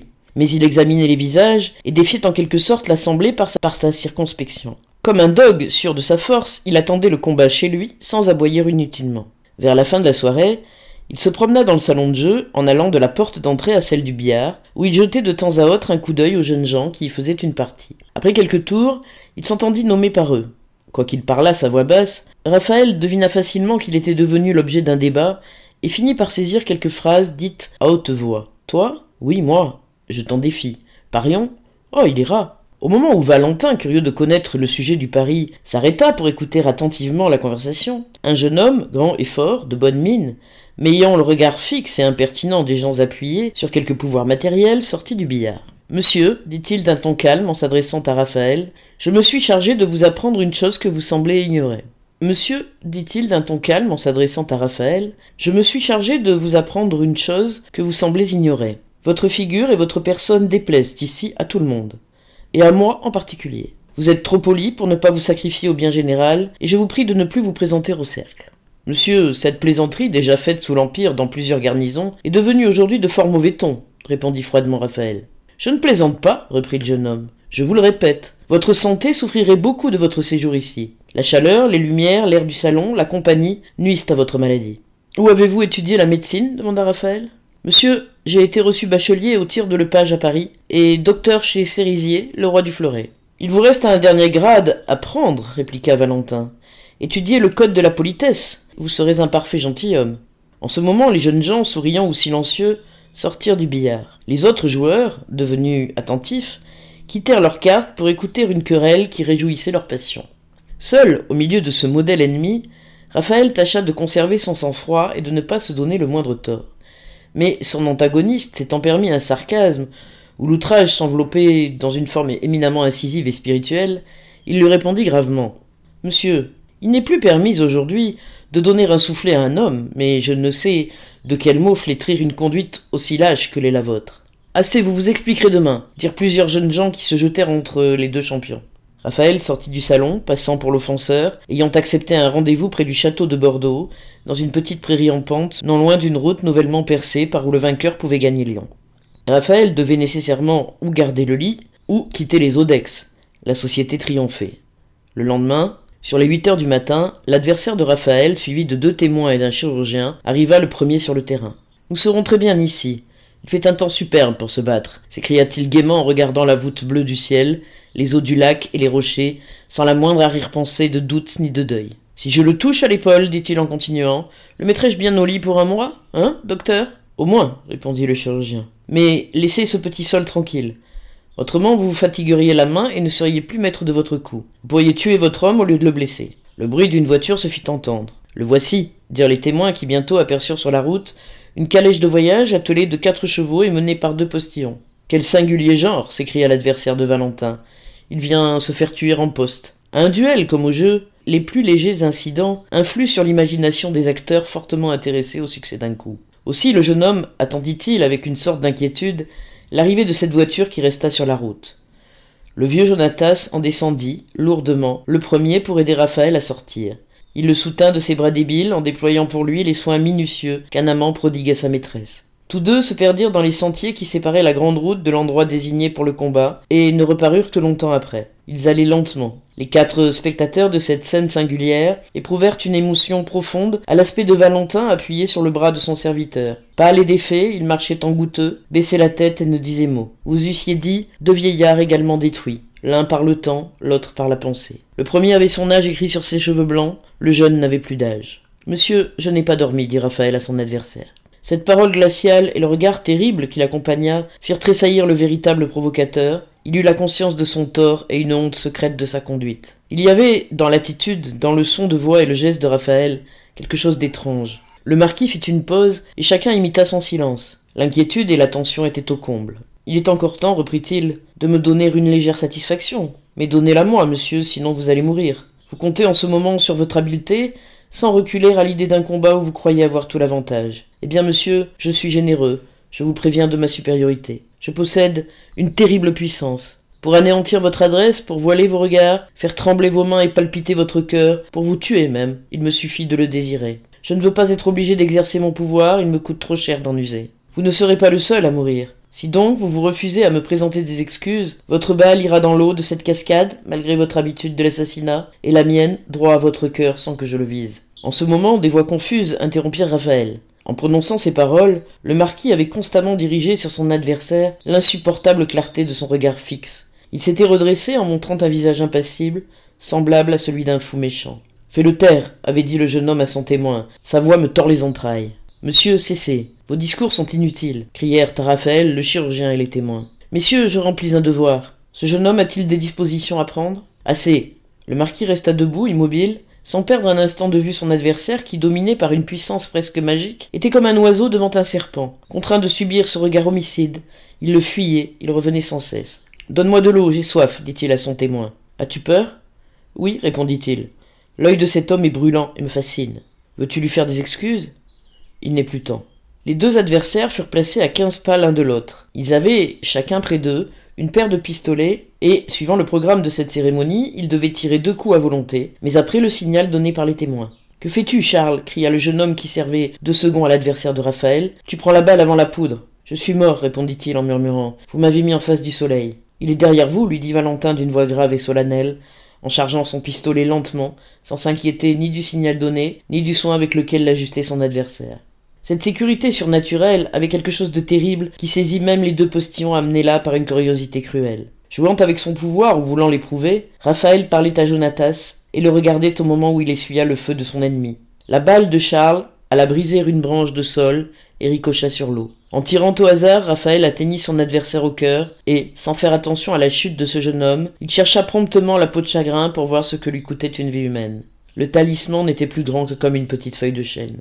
Eh bien, que regardez-vous donc là, postillon? En route? dit le marquis. Arrivé le soir même en France, il prit aussitôt la route d'Auvergne et se rendit aux eaux du Mont d'Or. Pendant ce voyage, il lui surgit au cœur une de ces pensées soudaines qui tombent dans notre âme comme un rayon de soleil à travers d'épais nuages sur quelque obscure vallée. Triste lueur, sagesses implacables. Elles illuminent les événements accomplis, nous dévoilent nos fautes et nous laissent sans pardon devant nous-mêmes. Il pensa tout à coup que la possession du pouvoir, quelque immense qu'il pût être, ne donnait pas la science de s'en servir.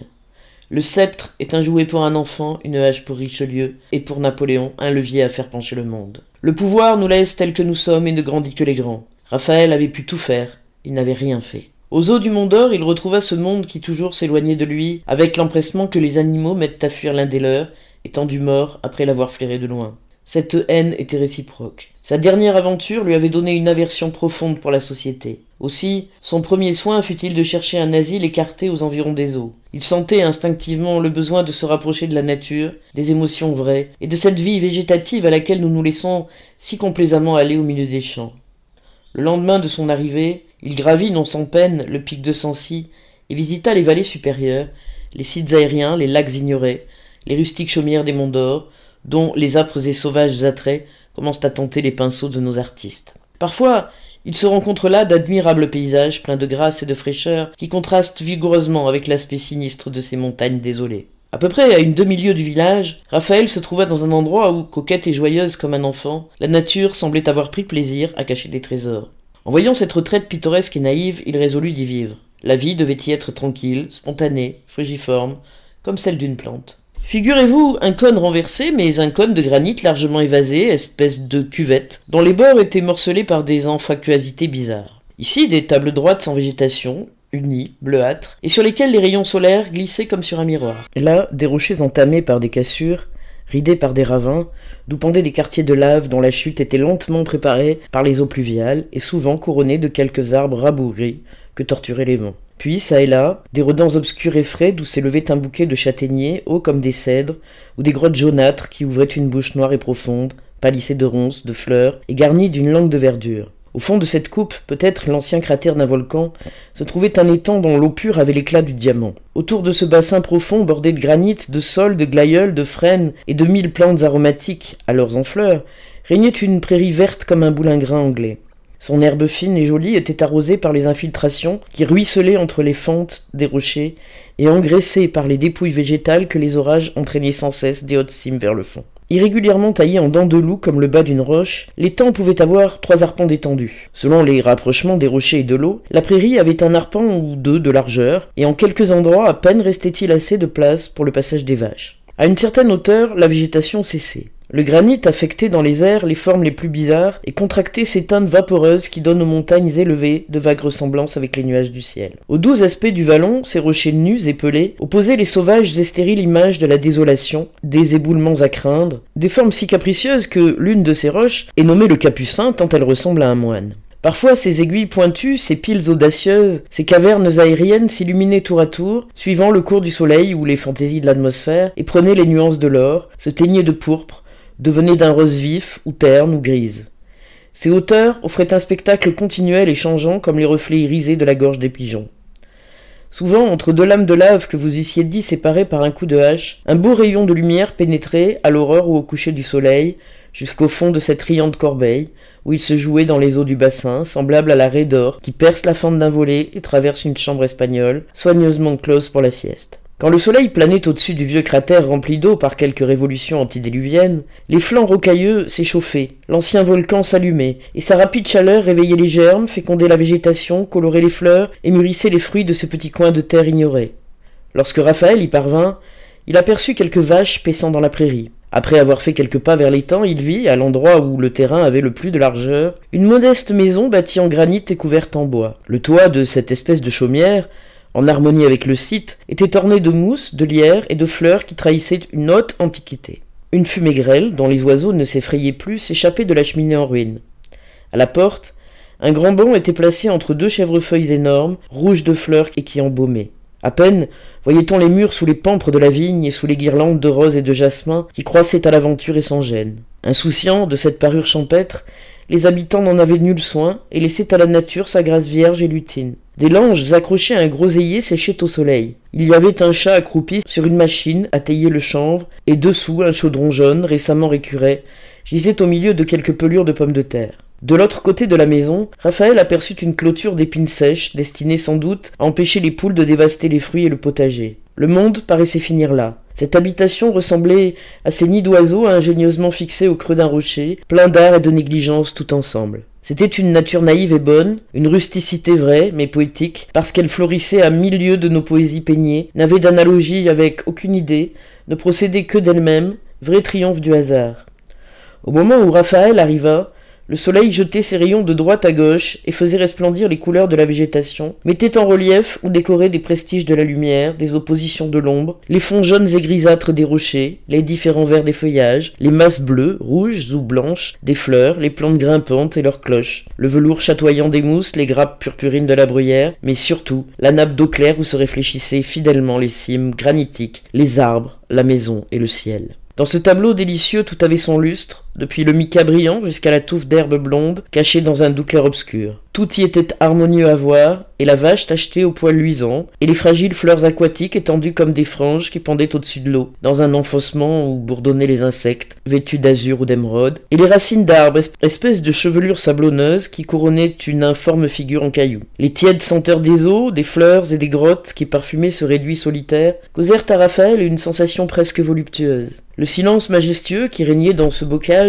oublié peut-être sur les rôles percepteurs, fut interrompu tout à coup par les aboiements de deux chiens. Les vaches tournèrent la tête vers l'entrée du vallon, montrèrent à Raphaël leur mufle humide et se mirent à brouter après l'avoir stupidement contemplé. Suspendus dans les rochers comme par magie, une chèvre et son chevreau cabriolèrent et vinrent se poser sur une table de granit près de Raphaël, en paraissant l'interroger. Les jappements des chiens attirèrent au dehors un gros enfant qui resta béant, puis vint un vieillard en cheveux blancs et de moyenne taille. Ces deux êtres étaient en rapport avec le paysage, avec l'air, les fleurs et la maison. La santé débordait dans cette nature plantureuse.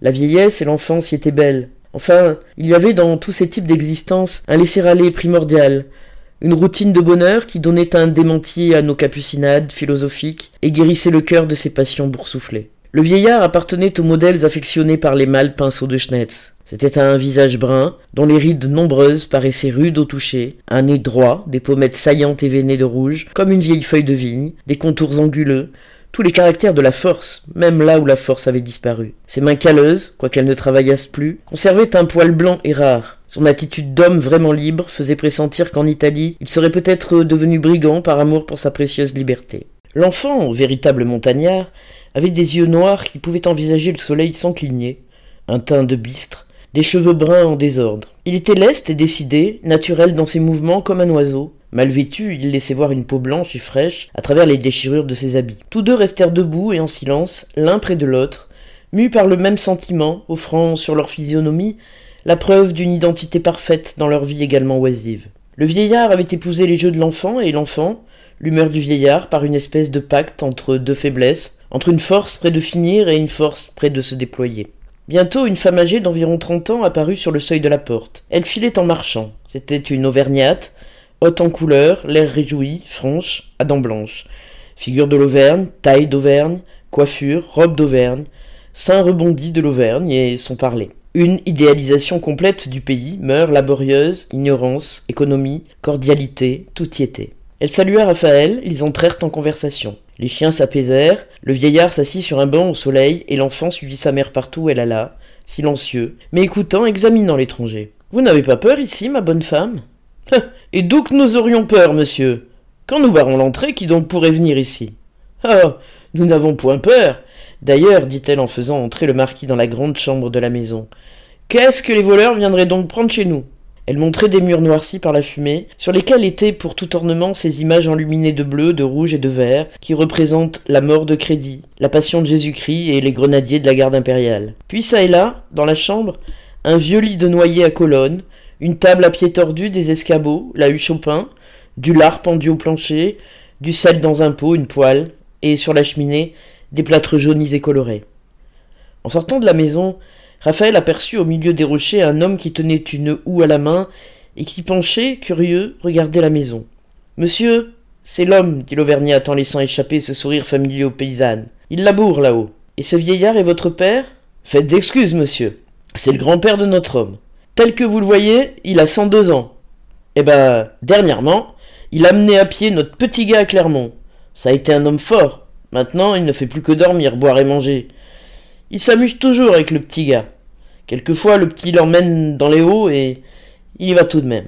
Aussitôt, Valentin se résolut à vivre entre ce vieillard et cet enfant, à respirer dans leur atmosphère, à manger de leur pain, à boire de leur eau, à dormir de leur sommeil, à se faire de leur sang dans les veines. Caprice de mourant. Devenir une des huîtres de ce rocher, sauver son écaille pour quelques jours de plus, en engourdissant la mort, fut pour lui l'archétype de la morale individuelle, la véritable formule de l'existence humaine, le beau idéal de la vie, la seule vie, la vraie vie.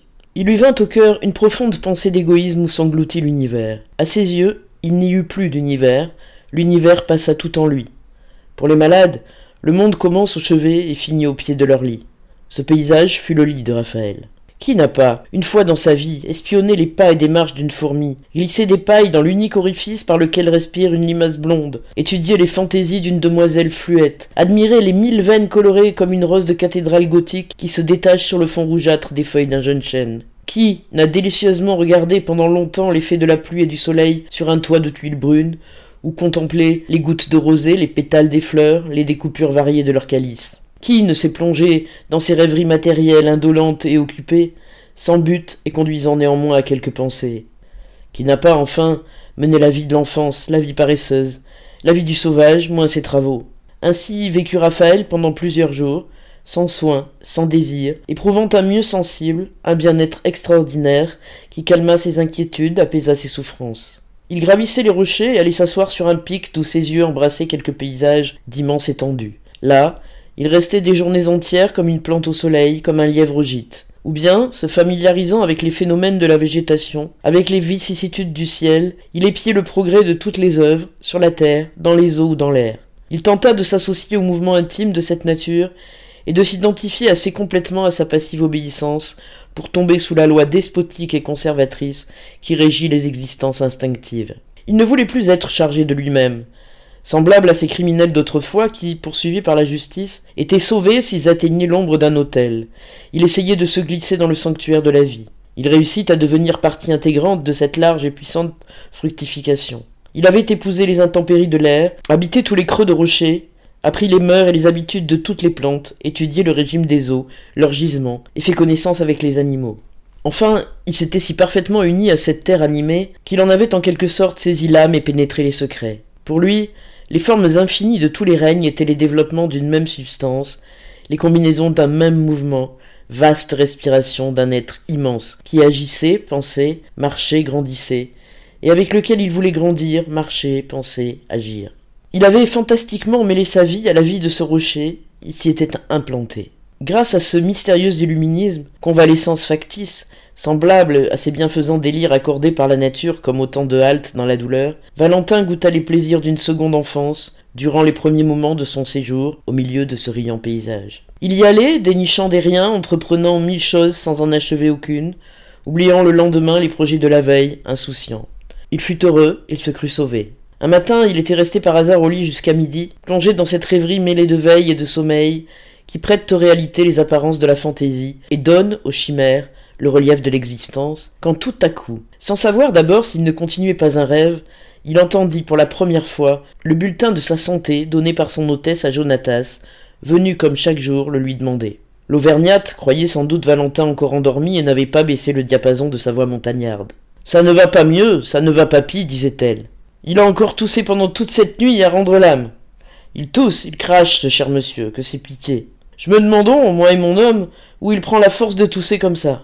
Ça fend le cœur. Quelle damnée maladie qu'il a. C'est qu'il n'est point bien du tout. J'avons toujours peur de le trouver crevé dans son lit un matin. Il est vraiment pâle comme Jésus de cire. Dame, je le vois quand il se lève. Ben, son pauvre corps est maigre comme un sang de clou. Et il ne sent déjà pas bon tout de même. Ça lui égale, il se consume à courir comme s'il avait de la santé à vendre. Il a bien du courage tout de même de ne pas se plaindre. Mais vraiment, il serait mieux en terre qu'en pré, car il souffle la passion de Dieu. Je ne le désirons pas, monsieur, ce n'est point notre intérêt. Mais il ne nous donnerait pas ce qu'il nous donne que je l'aimerons tout de même. Ce n'est point l'intérêt qui nous pousse. Ah mon Dieu, reprit-elle. Il n'y a que les Parisiens pour avoir de ces chiennes de maladie-là. Ou qu'ils prennent ça donc. Pauvre jeune homme, il est sûr qu'il ne peut guère bien finir. Cette fièvre, voyez-vous, ça vous le mine, ça le creuse, ça le ruine. Il ne s'en doute point, il ne le sait point, monsieur. Il ne s'aperçoit de rien. Faut pas pleurer pour ça, monsieur Jonatas. Il faut se dire qu'il sera heureux de ne plus souffrir. Vous devriez faire une neuvaine pour lui. J'avons vu de belles guérisons par les neuvaines, et je payerions bien un cierge pour sauver une si douce créature, si bonne, un agneau pascal. La voix de Raphaël était devenue trop faible pour qu'il pût se faire entendre. Il fut donc obligé de subir cet épouvantable bavardage. Cependant, l'impatience le chassa de son lit. Il se montra sur le seuil de la porte. Vieux scélérat cria-t-il à Jonatas. Tu veux donc être mon bourreau? La paysanne crut voir un spectre et s'enfuit. Je te défends, dit Raphaël en continuant, d'avoir la moindre inquiétude sur ma santé. Oui, monsieur le marquis, répondit le vieux serviteur en essuyant ses larmes. Et tu feras même fort bien dorénavant de ne pas venir ici sans mon ordre. Jonatas voulut obéir, mais avant de se retirer, il jeta sur le marquis un regard fidèle et compatissant où Raphaël lut son arrêt de mort. Découragé, rendu tout à coup au sentiment vrai de sa situation, Valentin s'assit sur le seuil de la porte, se croisa les bras sur la poitrine et baissa la tête. Jonatas, effrayé, s'approcha de son maître. Monsieur Va-t'en Va-t'en lui cria le malade. Pendant la matinée du lendemain, Raphaël, ayant gravi les rochers, s'était assis dans une crevasse pleine de mousse, d'où il pouvait voir le chemin étroit par lequel on venait des eaux à son habitation. Au bas du pic, il aperçut Jonatas conversant de rechef avec l'Auvergnate. Une malicieuse puissance lui interpréta les hochements de tête, les gestes désespérants, la sinistre naïveté de cette femme, et lui en jeta même les fatales paroles dans le vent et dans le silence. Pénétré d'horreur, il se réfugia sur les plus hautes cimes des montagnes, et y resta jusqu'au soir sans avoir pu chasser les sinistres pensées, si malheureusement réveillées dans son cœur par le cruel intérêt dont il était devenu l'objet.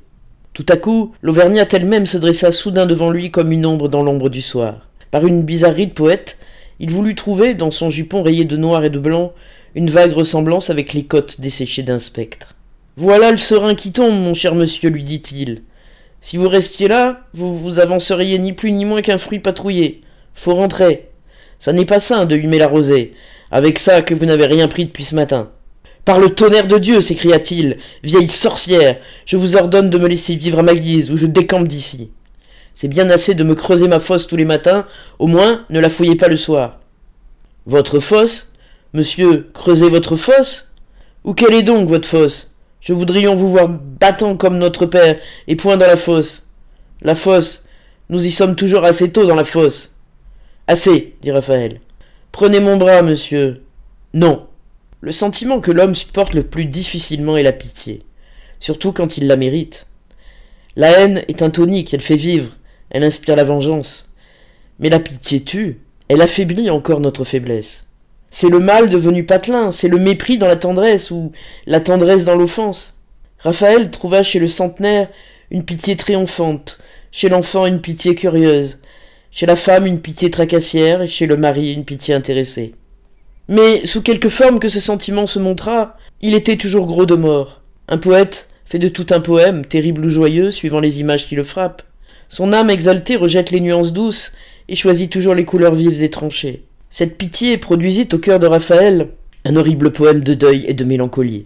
Il n'avait pas songé sans doute à la franchise des sentiments naturels quand il désira se rapprocher de la nature. Lorsqu'il se croyait seul sous un arbre, aux prises avec une quinte opiniâtre dont il ne triomphait jamais sans sortir abattu par cette terrible lutte, il voyait les yeux brillants et fluides du petit garçon, placé en vedette sous une touffe d'herbe, comme un sauvage, et qu'il examinait avec cette enfantine curiosité dans laquelle il y a autant de raillerie que de plaisir, et je ne sais quel intérêt mêlé d'insensibilité.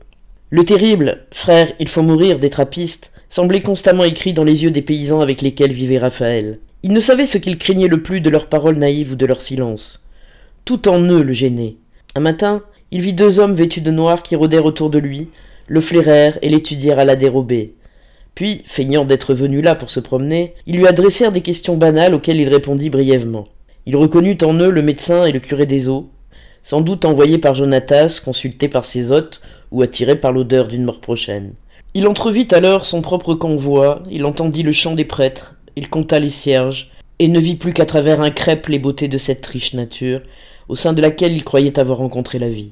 Tout ce qui naguère lui annonçait une longue existence, lui prophétisait maintenant une fin prochaine. Le lendemain, il partit pour Paris, après avoir été abreuvé des souhaits mélancoliques et cordialement plaintifs que ses hôtes lui adressèrent. Après avoir voyagé durant toute la nuit, il s'éveilla dans l'une des plus riantes vallées du Bourbonnais, dont les sites et les points de vue tourbillonnaient devant lui, rapidement emportés comme les images vaporeuses d'un songe. La nature s'étalait à ses yeux avec une cruelle coquetterie.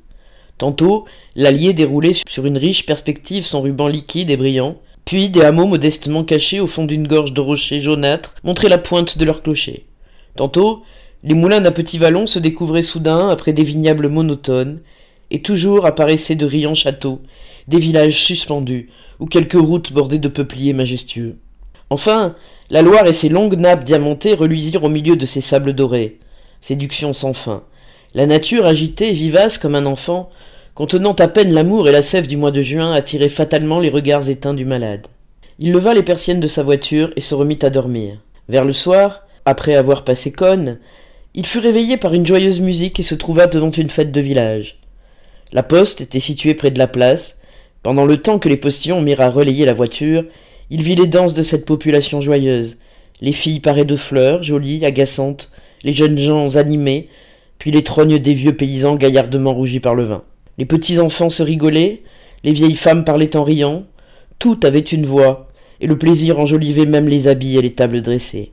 La place et l'église offraient une physionomie de bonheur, les toits, les fenêtres, les portes même du village semblaient s'être endimanchées aussi. Semblable aux moribonds impatients du moindre bruit, Raphaël ne put réprimer une sinistre interjection, ni le désir d'imposer silence à ses violons, d'anéantir ce mouvement, d'assourdir ses clameurs, de dissiper cette fête insolente. Il monta tout chagrin dans sa voiture. Quand il regarda sur la place, il vit la joie effarouchée, les paysannes en fuite et les bancs déserts.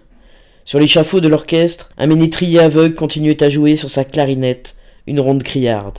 Cette musique sans danseur, ce vieillard solitaire au profil grimaud, en haillons, les cheveux épars et cachés dans l'ombre d'un tilleul, était comme une image fantastique du souhait de Raphaël. Il tombait à torrent une de ces fortes pluies que les nuages électriques du mois de juin versent brusquement et qui finissent de même. C'était chose si naturelle que Raphaël, après avoir regardé dans le ciel quelques nuages blanchâtres emportés par un grain de vent, ne songea pas à regarder sa peau de chagrin. Il se remit dans le coin de sa voiture, qui bientôt roula sur la route. Le lendemain, il se trouva chez lui dans sa chambre, au coin de sa cheminée. Il s'était fait allumer un grand feu, il avait froid. Jonatas lui apporta des lettres, elles étaient toutes de Pauline. Il ouvrit la première sans empressement, et la déplia comme c'eût été le papier grisâtre d'une sommation sans frais envoyée par le percepteur. Il lut la première phrase. Parti, mais c'est une fuite, mon Raphaël. Comment? Personne ne peut me dire où tu es? Et si je ne sais pas, qui donc le saurait? Sans vouloir en apprendre davantage, il prit froidement les lettres et les jeta dans le foyer en regardant d'un œil terne et sans chaleur les jeux de la flamme qui tordait le papier parfumé, le racornissait, le retournait, le morcelait. Des fragments roulèrent sur les cendres en lui laissant voir des commencements de phrases, des mots, des pensées à demi brûlées, qu'il se plut à saisir dans la flamme par un divertissement machinal. Assise à ta porte, attendu, caprice, j'obéis, des rivales, moi non. Ta Pauline? Aime, plus de Pauline donc, si tu avais voulu me quitter, tu ne m'aurais pas abandonné. Amour éternel, mourir. Ces mots lui donnèrent une sorte de remords. Il saisit les pincettes et sauva des flammes un dernier lambeau de lettres. J'ai murmuré, disait Pauline, mais je ne me suis pas plainte, Raphaël. En me laissant loin de toi, tu as sans doute voulu me dérober le poids de quelque chagrin. Un jour, tu me tueras peut-être, mais tu es trop bon pour me faire souffrir. Eh bien, ne pars plus ainsi. Va, je puis affronter les plus grands supplices, mais près de toi. Le chagrin que tu m'imposerais ne serait plus un chagrin. J'ai dans le cœur encore bien plus d'amour que je ne t'en ai montré. Je puis tout supporter, hors de pleurer loin de toi, et de ne pas savoir ce que tu. Raphaël posa sur la cheminée ce débris de lettres noircies par le feu, puis il le rejeta tout à coup dans le foyer. Ce papier était une image trop vive de son amour et de sa fatale vie. Va chercher monsieur Bianchon, dit-il à Jonatas. Horace vint et trouva Raphaël au lit. Mon ami, Peux-tu me composer une boisson légèrement opiacée qui m'entretienne dans une somnolence continuelle sans que l'emploi constant de ce breuvage me fasse mal? Rien n'est plus aisé, répondit le jeune docteur. Mais il faudra cependant rester debout quelques heures de la journée, pour manger. Quelques heures, dit Raphaël en l'interrompant. Non, non, non. Je veux être levé que durant une heure au plus. Quel est donc ton dessein demanda Bianchon. Dormir, c'est encore vivre, répondit le malade. Ne laisse entrer personne, fût-ce même mademoiselle Pauline, dit Valentin à Jonatas pendant que le médecin écrivait son ordonnance. Eh bien, monsieur Horace, y a-t-il de la ressource demanda le vieux domestique au jeune docteur qui l'avait reconduit jusqu'au perron. Il peut aller encore longtemps ou mourir ce soir. Chez lui, les chances de vie et de mort sont égales. Je n'y comprends rien, répondit le médecin en laissant échapper un geste de doute. Il faut le distraire. Le distraire? Monsieur, vous ne le connaissez pas. Il a tué l'autre jour un homme sans dire ouf. Rien ne le distrait. Raphaël demeura pendant quelques jours plongé dans le néant de son sommeil factice. Grâce à la puissance matérielle exercée par l'opium sur notre âme immatérielle, cet homme d'imagination si puissamment active s'abaissa jusqu'à la hauteur de ces animaux paresseux qui croupissent au sein des forêts sous la forme d'une dépouille végétale sans faire un pas pour saisir une proie facile. Il avait même éteint la lumière du ciel, le jour n'entrait plus chez lui. Vers les huit heures du soir, il sortait de son lit sans avoir une conscience lucide de son existence. Il satisfaisait sa faim, puis se recouchait aussitôt. Ces heures froides et ridées ne lui apportaient que de confuses images, des apparences, des clairs-obscurs, sur un fond noir. Il s'était enseveli dans un profond silence, dans une négation de mouvement et d'intelligence. Un soir, il se réveilla beaucoup plus tard que de coutume, et ne trouva pas son dîner servi. Il sonna Jonatas. Tu peux partir, lui dit-il. Je t'ai fait riche, tu seras heureux dans tes vieux jours. Mais je ne veux plus te laisser jouer ma vie. Comment, misérable Je sens la faim. Où est mon dîner? Réponds. Jonatas laissa échapper un sourire de contentement, prit une bougie dont la lumière tremblotait dans l'obscurité profonde des immenses appartements de l'hôtel. Il conduisit son maître, devenu machine, à une vaste galerie, et en ouvrit brusquement la porte. Aussitôt, Raphaël, inondé de lumière, fut ébloui, surpris par un spectacle inouï. C'étaient ses lustres chargés de bougies, les fleurs les plus rares de sa serre, artistement disposées, une table étincelante d'argenterie, d'or, de nacre, de porcelaine, un repas royal, fumant, et dont les mets appétissants irritaient les houppes nerveuses du palais. Il vit ses amis convoqués, mêlés à des femmes pareilles, ravissantes, la gorge nue, les épaules découvertes, les chevelures pleines de fleurs, les yeux brillants, toutes de beautés diverses, agaçantes sous de voluptueux travestissements. L'une avait dessiné ses formes attrayantes par une jaquette irlandaise, l'autre portait la basquina lascive des Andalouses. Celle-ci, demi-nue, en Diane chasseresse, celle-là, modeste et amoureuse, sous le costume de mademoiselle de Lavallière, était également vouée à l'ivresse. Dans les regards de tous les convives brillait la joie, l'amour, le plaisir. Au moment où la morte figure de Raphaël se montra dans l'ouverture de la porte, une acclamation soudaine éclata, rapide, rutilante comme les rayons de cette fête improvisée. Les voix, les parfums, la lumière, ces femmes d'une pénétrante beauté frappèrent tous ses sens, réveillèrent son appétit. Une délicieuse musique, cachée dans un salon voisin, couvrit par un torrent d'harmonie ce tumulte enivrant, et compléta cette étrange vision. Raphaël se sentit la main pressée par une main chatouilleuse, une main de femme dont les bras frais et blancs se levaient pour le serrer, la main d'Aquilina. Il comprit que ce tableau n'était pas vague et fantastique, comme les fugitives images de ses rêves décolorés. Il poussa un cri sinistre, ferma brusquement la porte, et flétrit son vieux serviteur en le frappant au visage. Monstre. Tu as donc juré de me faire mourir, s'écria-t-il. Puis, tout palpitant du danger qu'il venait de courir, il trouva des forces pour regagner sa chambre, but une forte dose de sommeil et se coucha. Que diable dit Jonatas en se relevant. Monsieur Bianchon m'avait cependant bien ordonné de le distraire. Il était environ minuit. À cette heure, Raphaël, par un de ses caprices physiologiques, l'étonnement et le désespoir des sciences médicales, resplendissait de beauté pendant son sommeil. Un rose vif colorait ses joues blanches, son front gracieux comme celui d'une jeune fille exprimait le génie.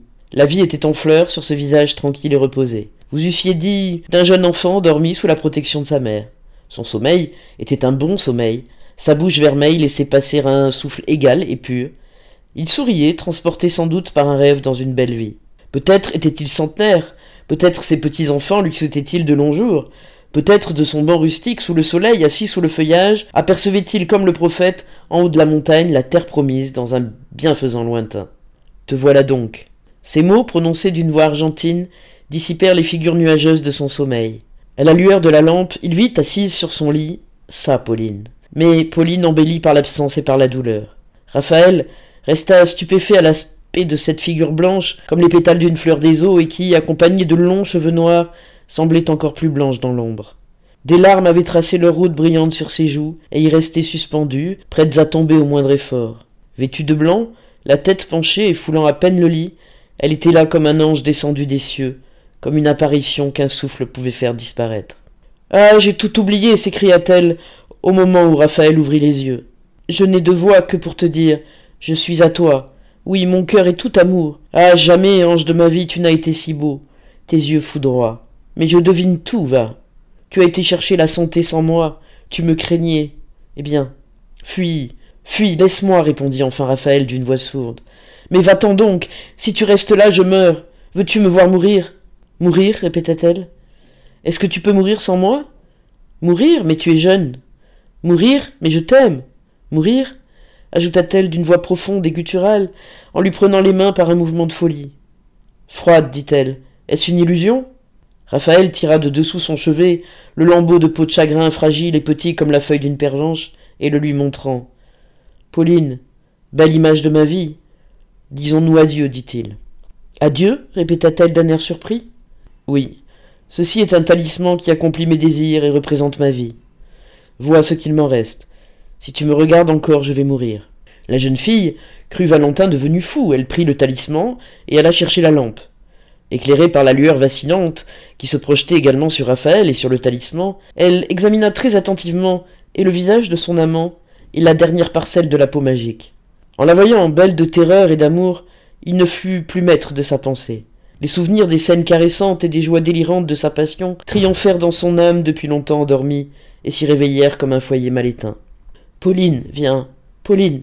Un cri terrible sortit du gosier de la jeune fille. Ses yeux se dilatèrent, ses sourcils violemment tirés par une douleur inouïe s'écartèrent avec horreur. Elle lisait dans les yeux de Raphaël un de ses désirs furieux, jadis sa gloire.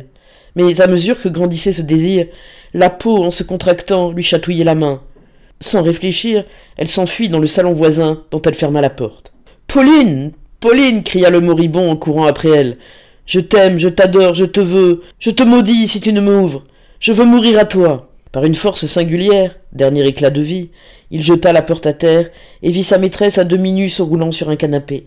Pauline avait tenté vainement de se déchirer le sein, et pour se donner une prompte mort, elle cherchait à s'étrangler avec son châle. Si je meurs, il vivra, disait-elle, en tâchant vainement de serrer le nœud. Ses cheveux épars, ses épaules nues, ses vêtements en désordre, et, dans cette lutte avec la mort, les yeux en pleurs, le visage enflammé, se tordant sous un horrible désespoir, elle présentait à Raphaël, ivre d'amour, mille beautés qui augmentèrent son délire. Il se jeta sur elle avec la légèreté d'un oiseau de proie, brisa le châle et voulut la prendre dans ses bras. Le moribond chercha des paroles pour exprimer le désir qui dévorait toutes ses forces, mais il ne trouva que les sons étranglés du râle dans sa poitrine, dont chaque respiration creusée plus avant semblait partir de ses entrailles. Enfin, ne pouvant bientôt plus former de son, il mordit Pauline au sein. Jonatas se présenta tout épouvanté des cris qu'il entendait et tenta d'arracher à la jeune fille le cadavre sur lequel elle s'était accroupie dans un coin. Que demandez-vous dit-elle. Il est à moi, je l'ai tué. Ne l'avais-je pas prédit?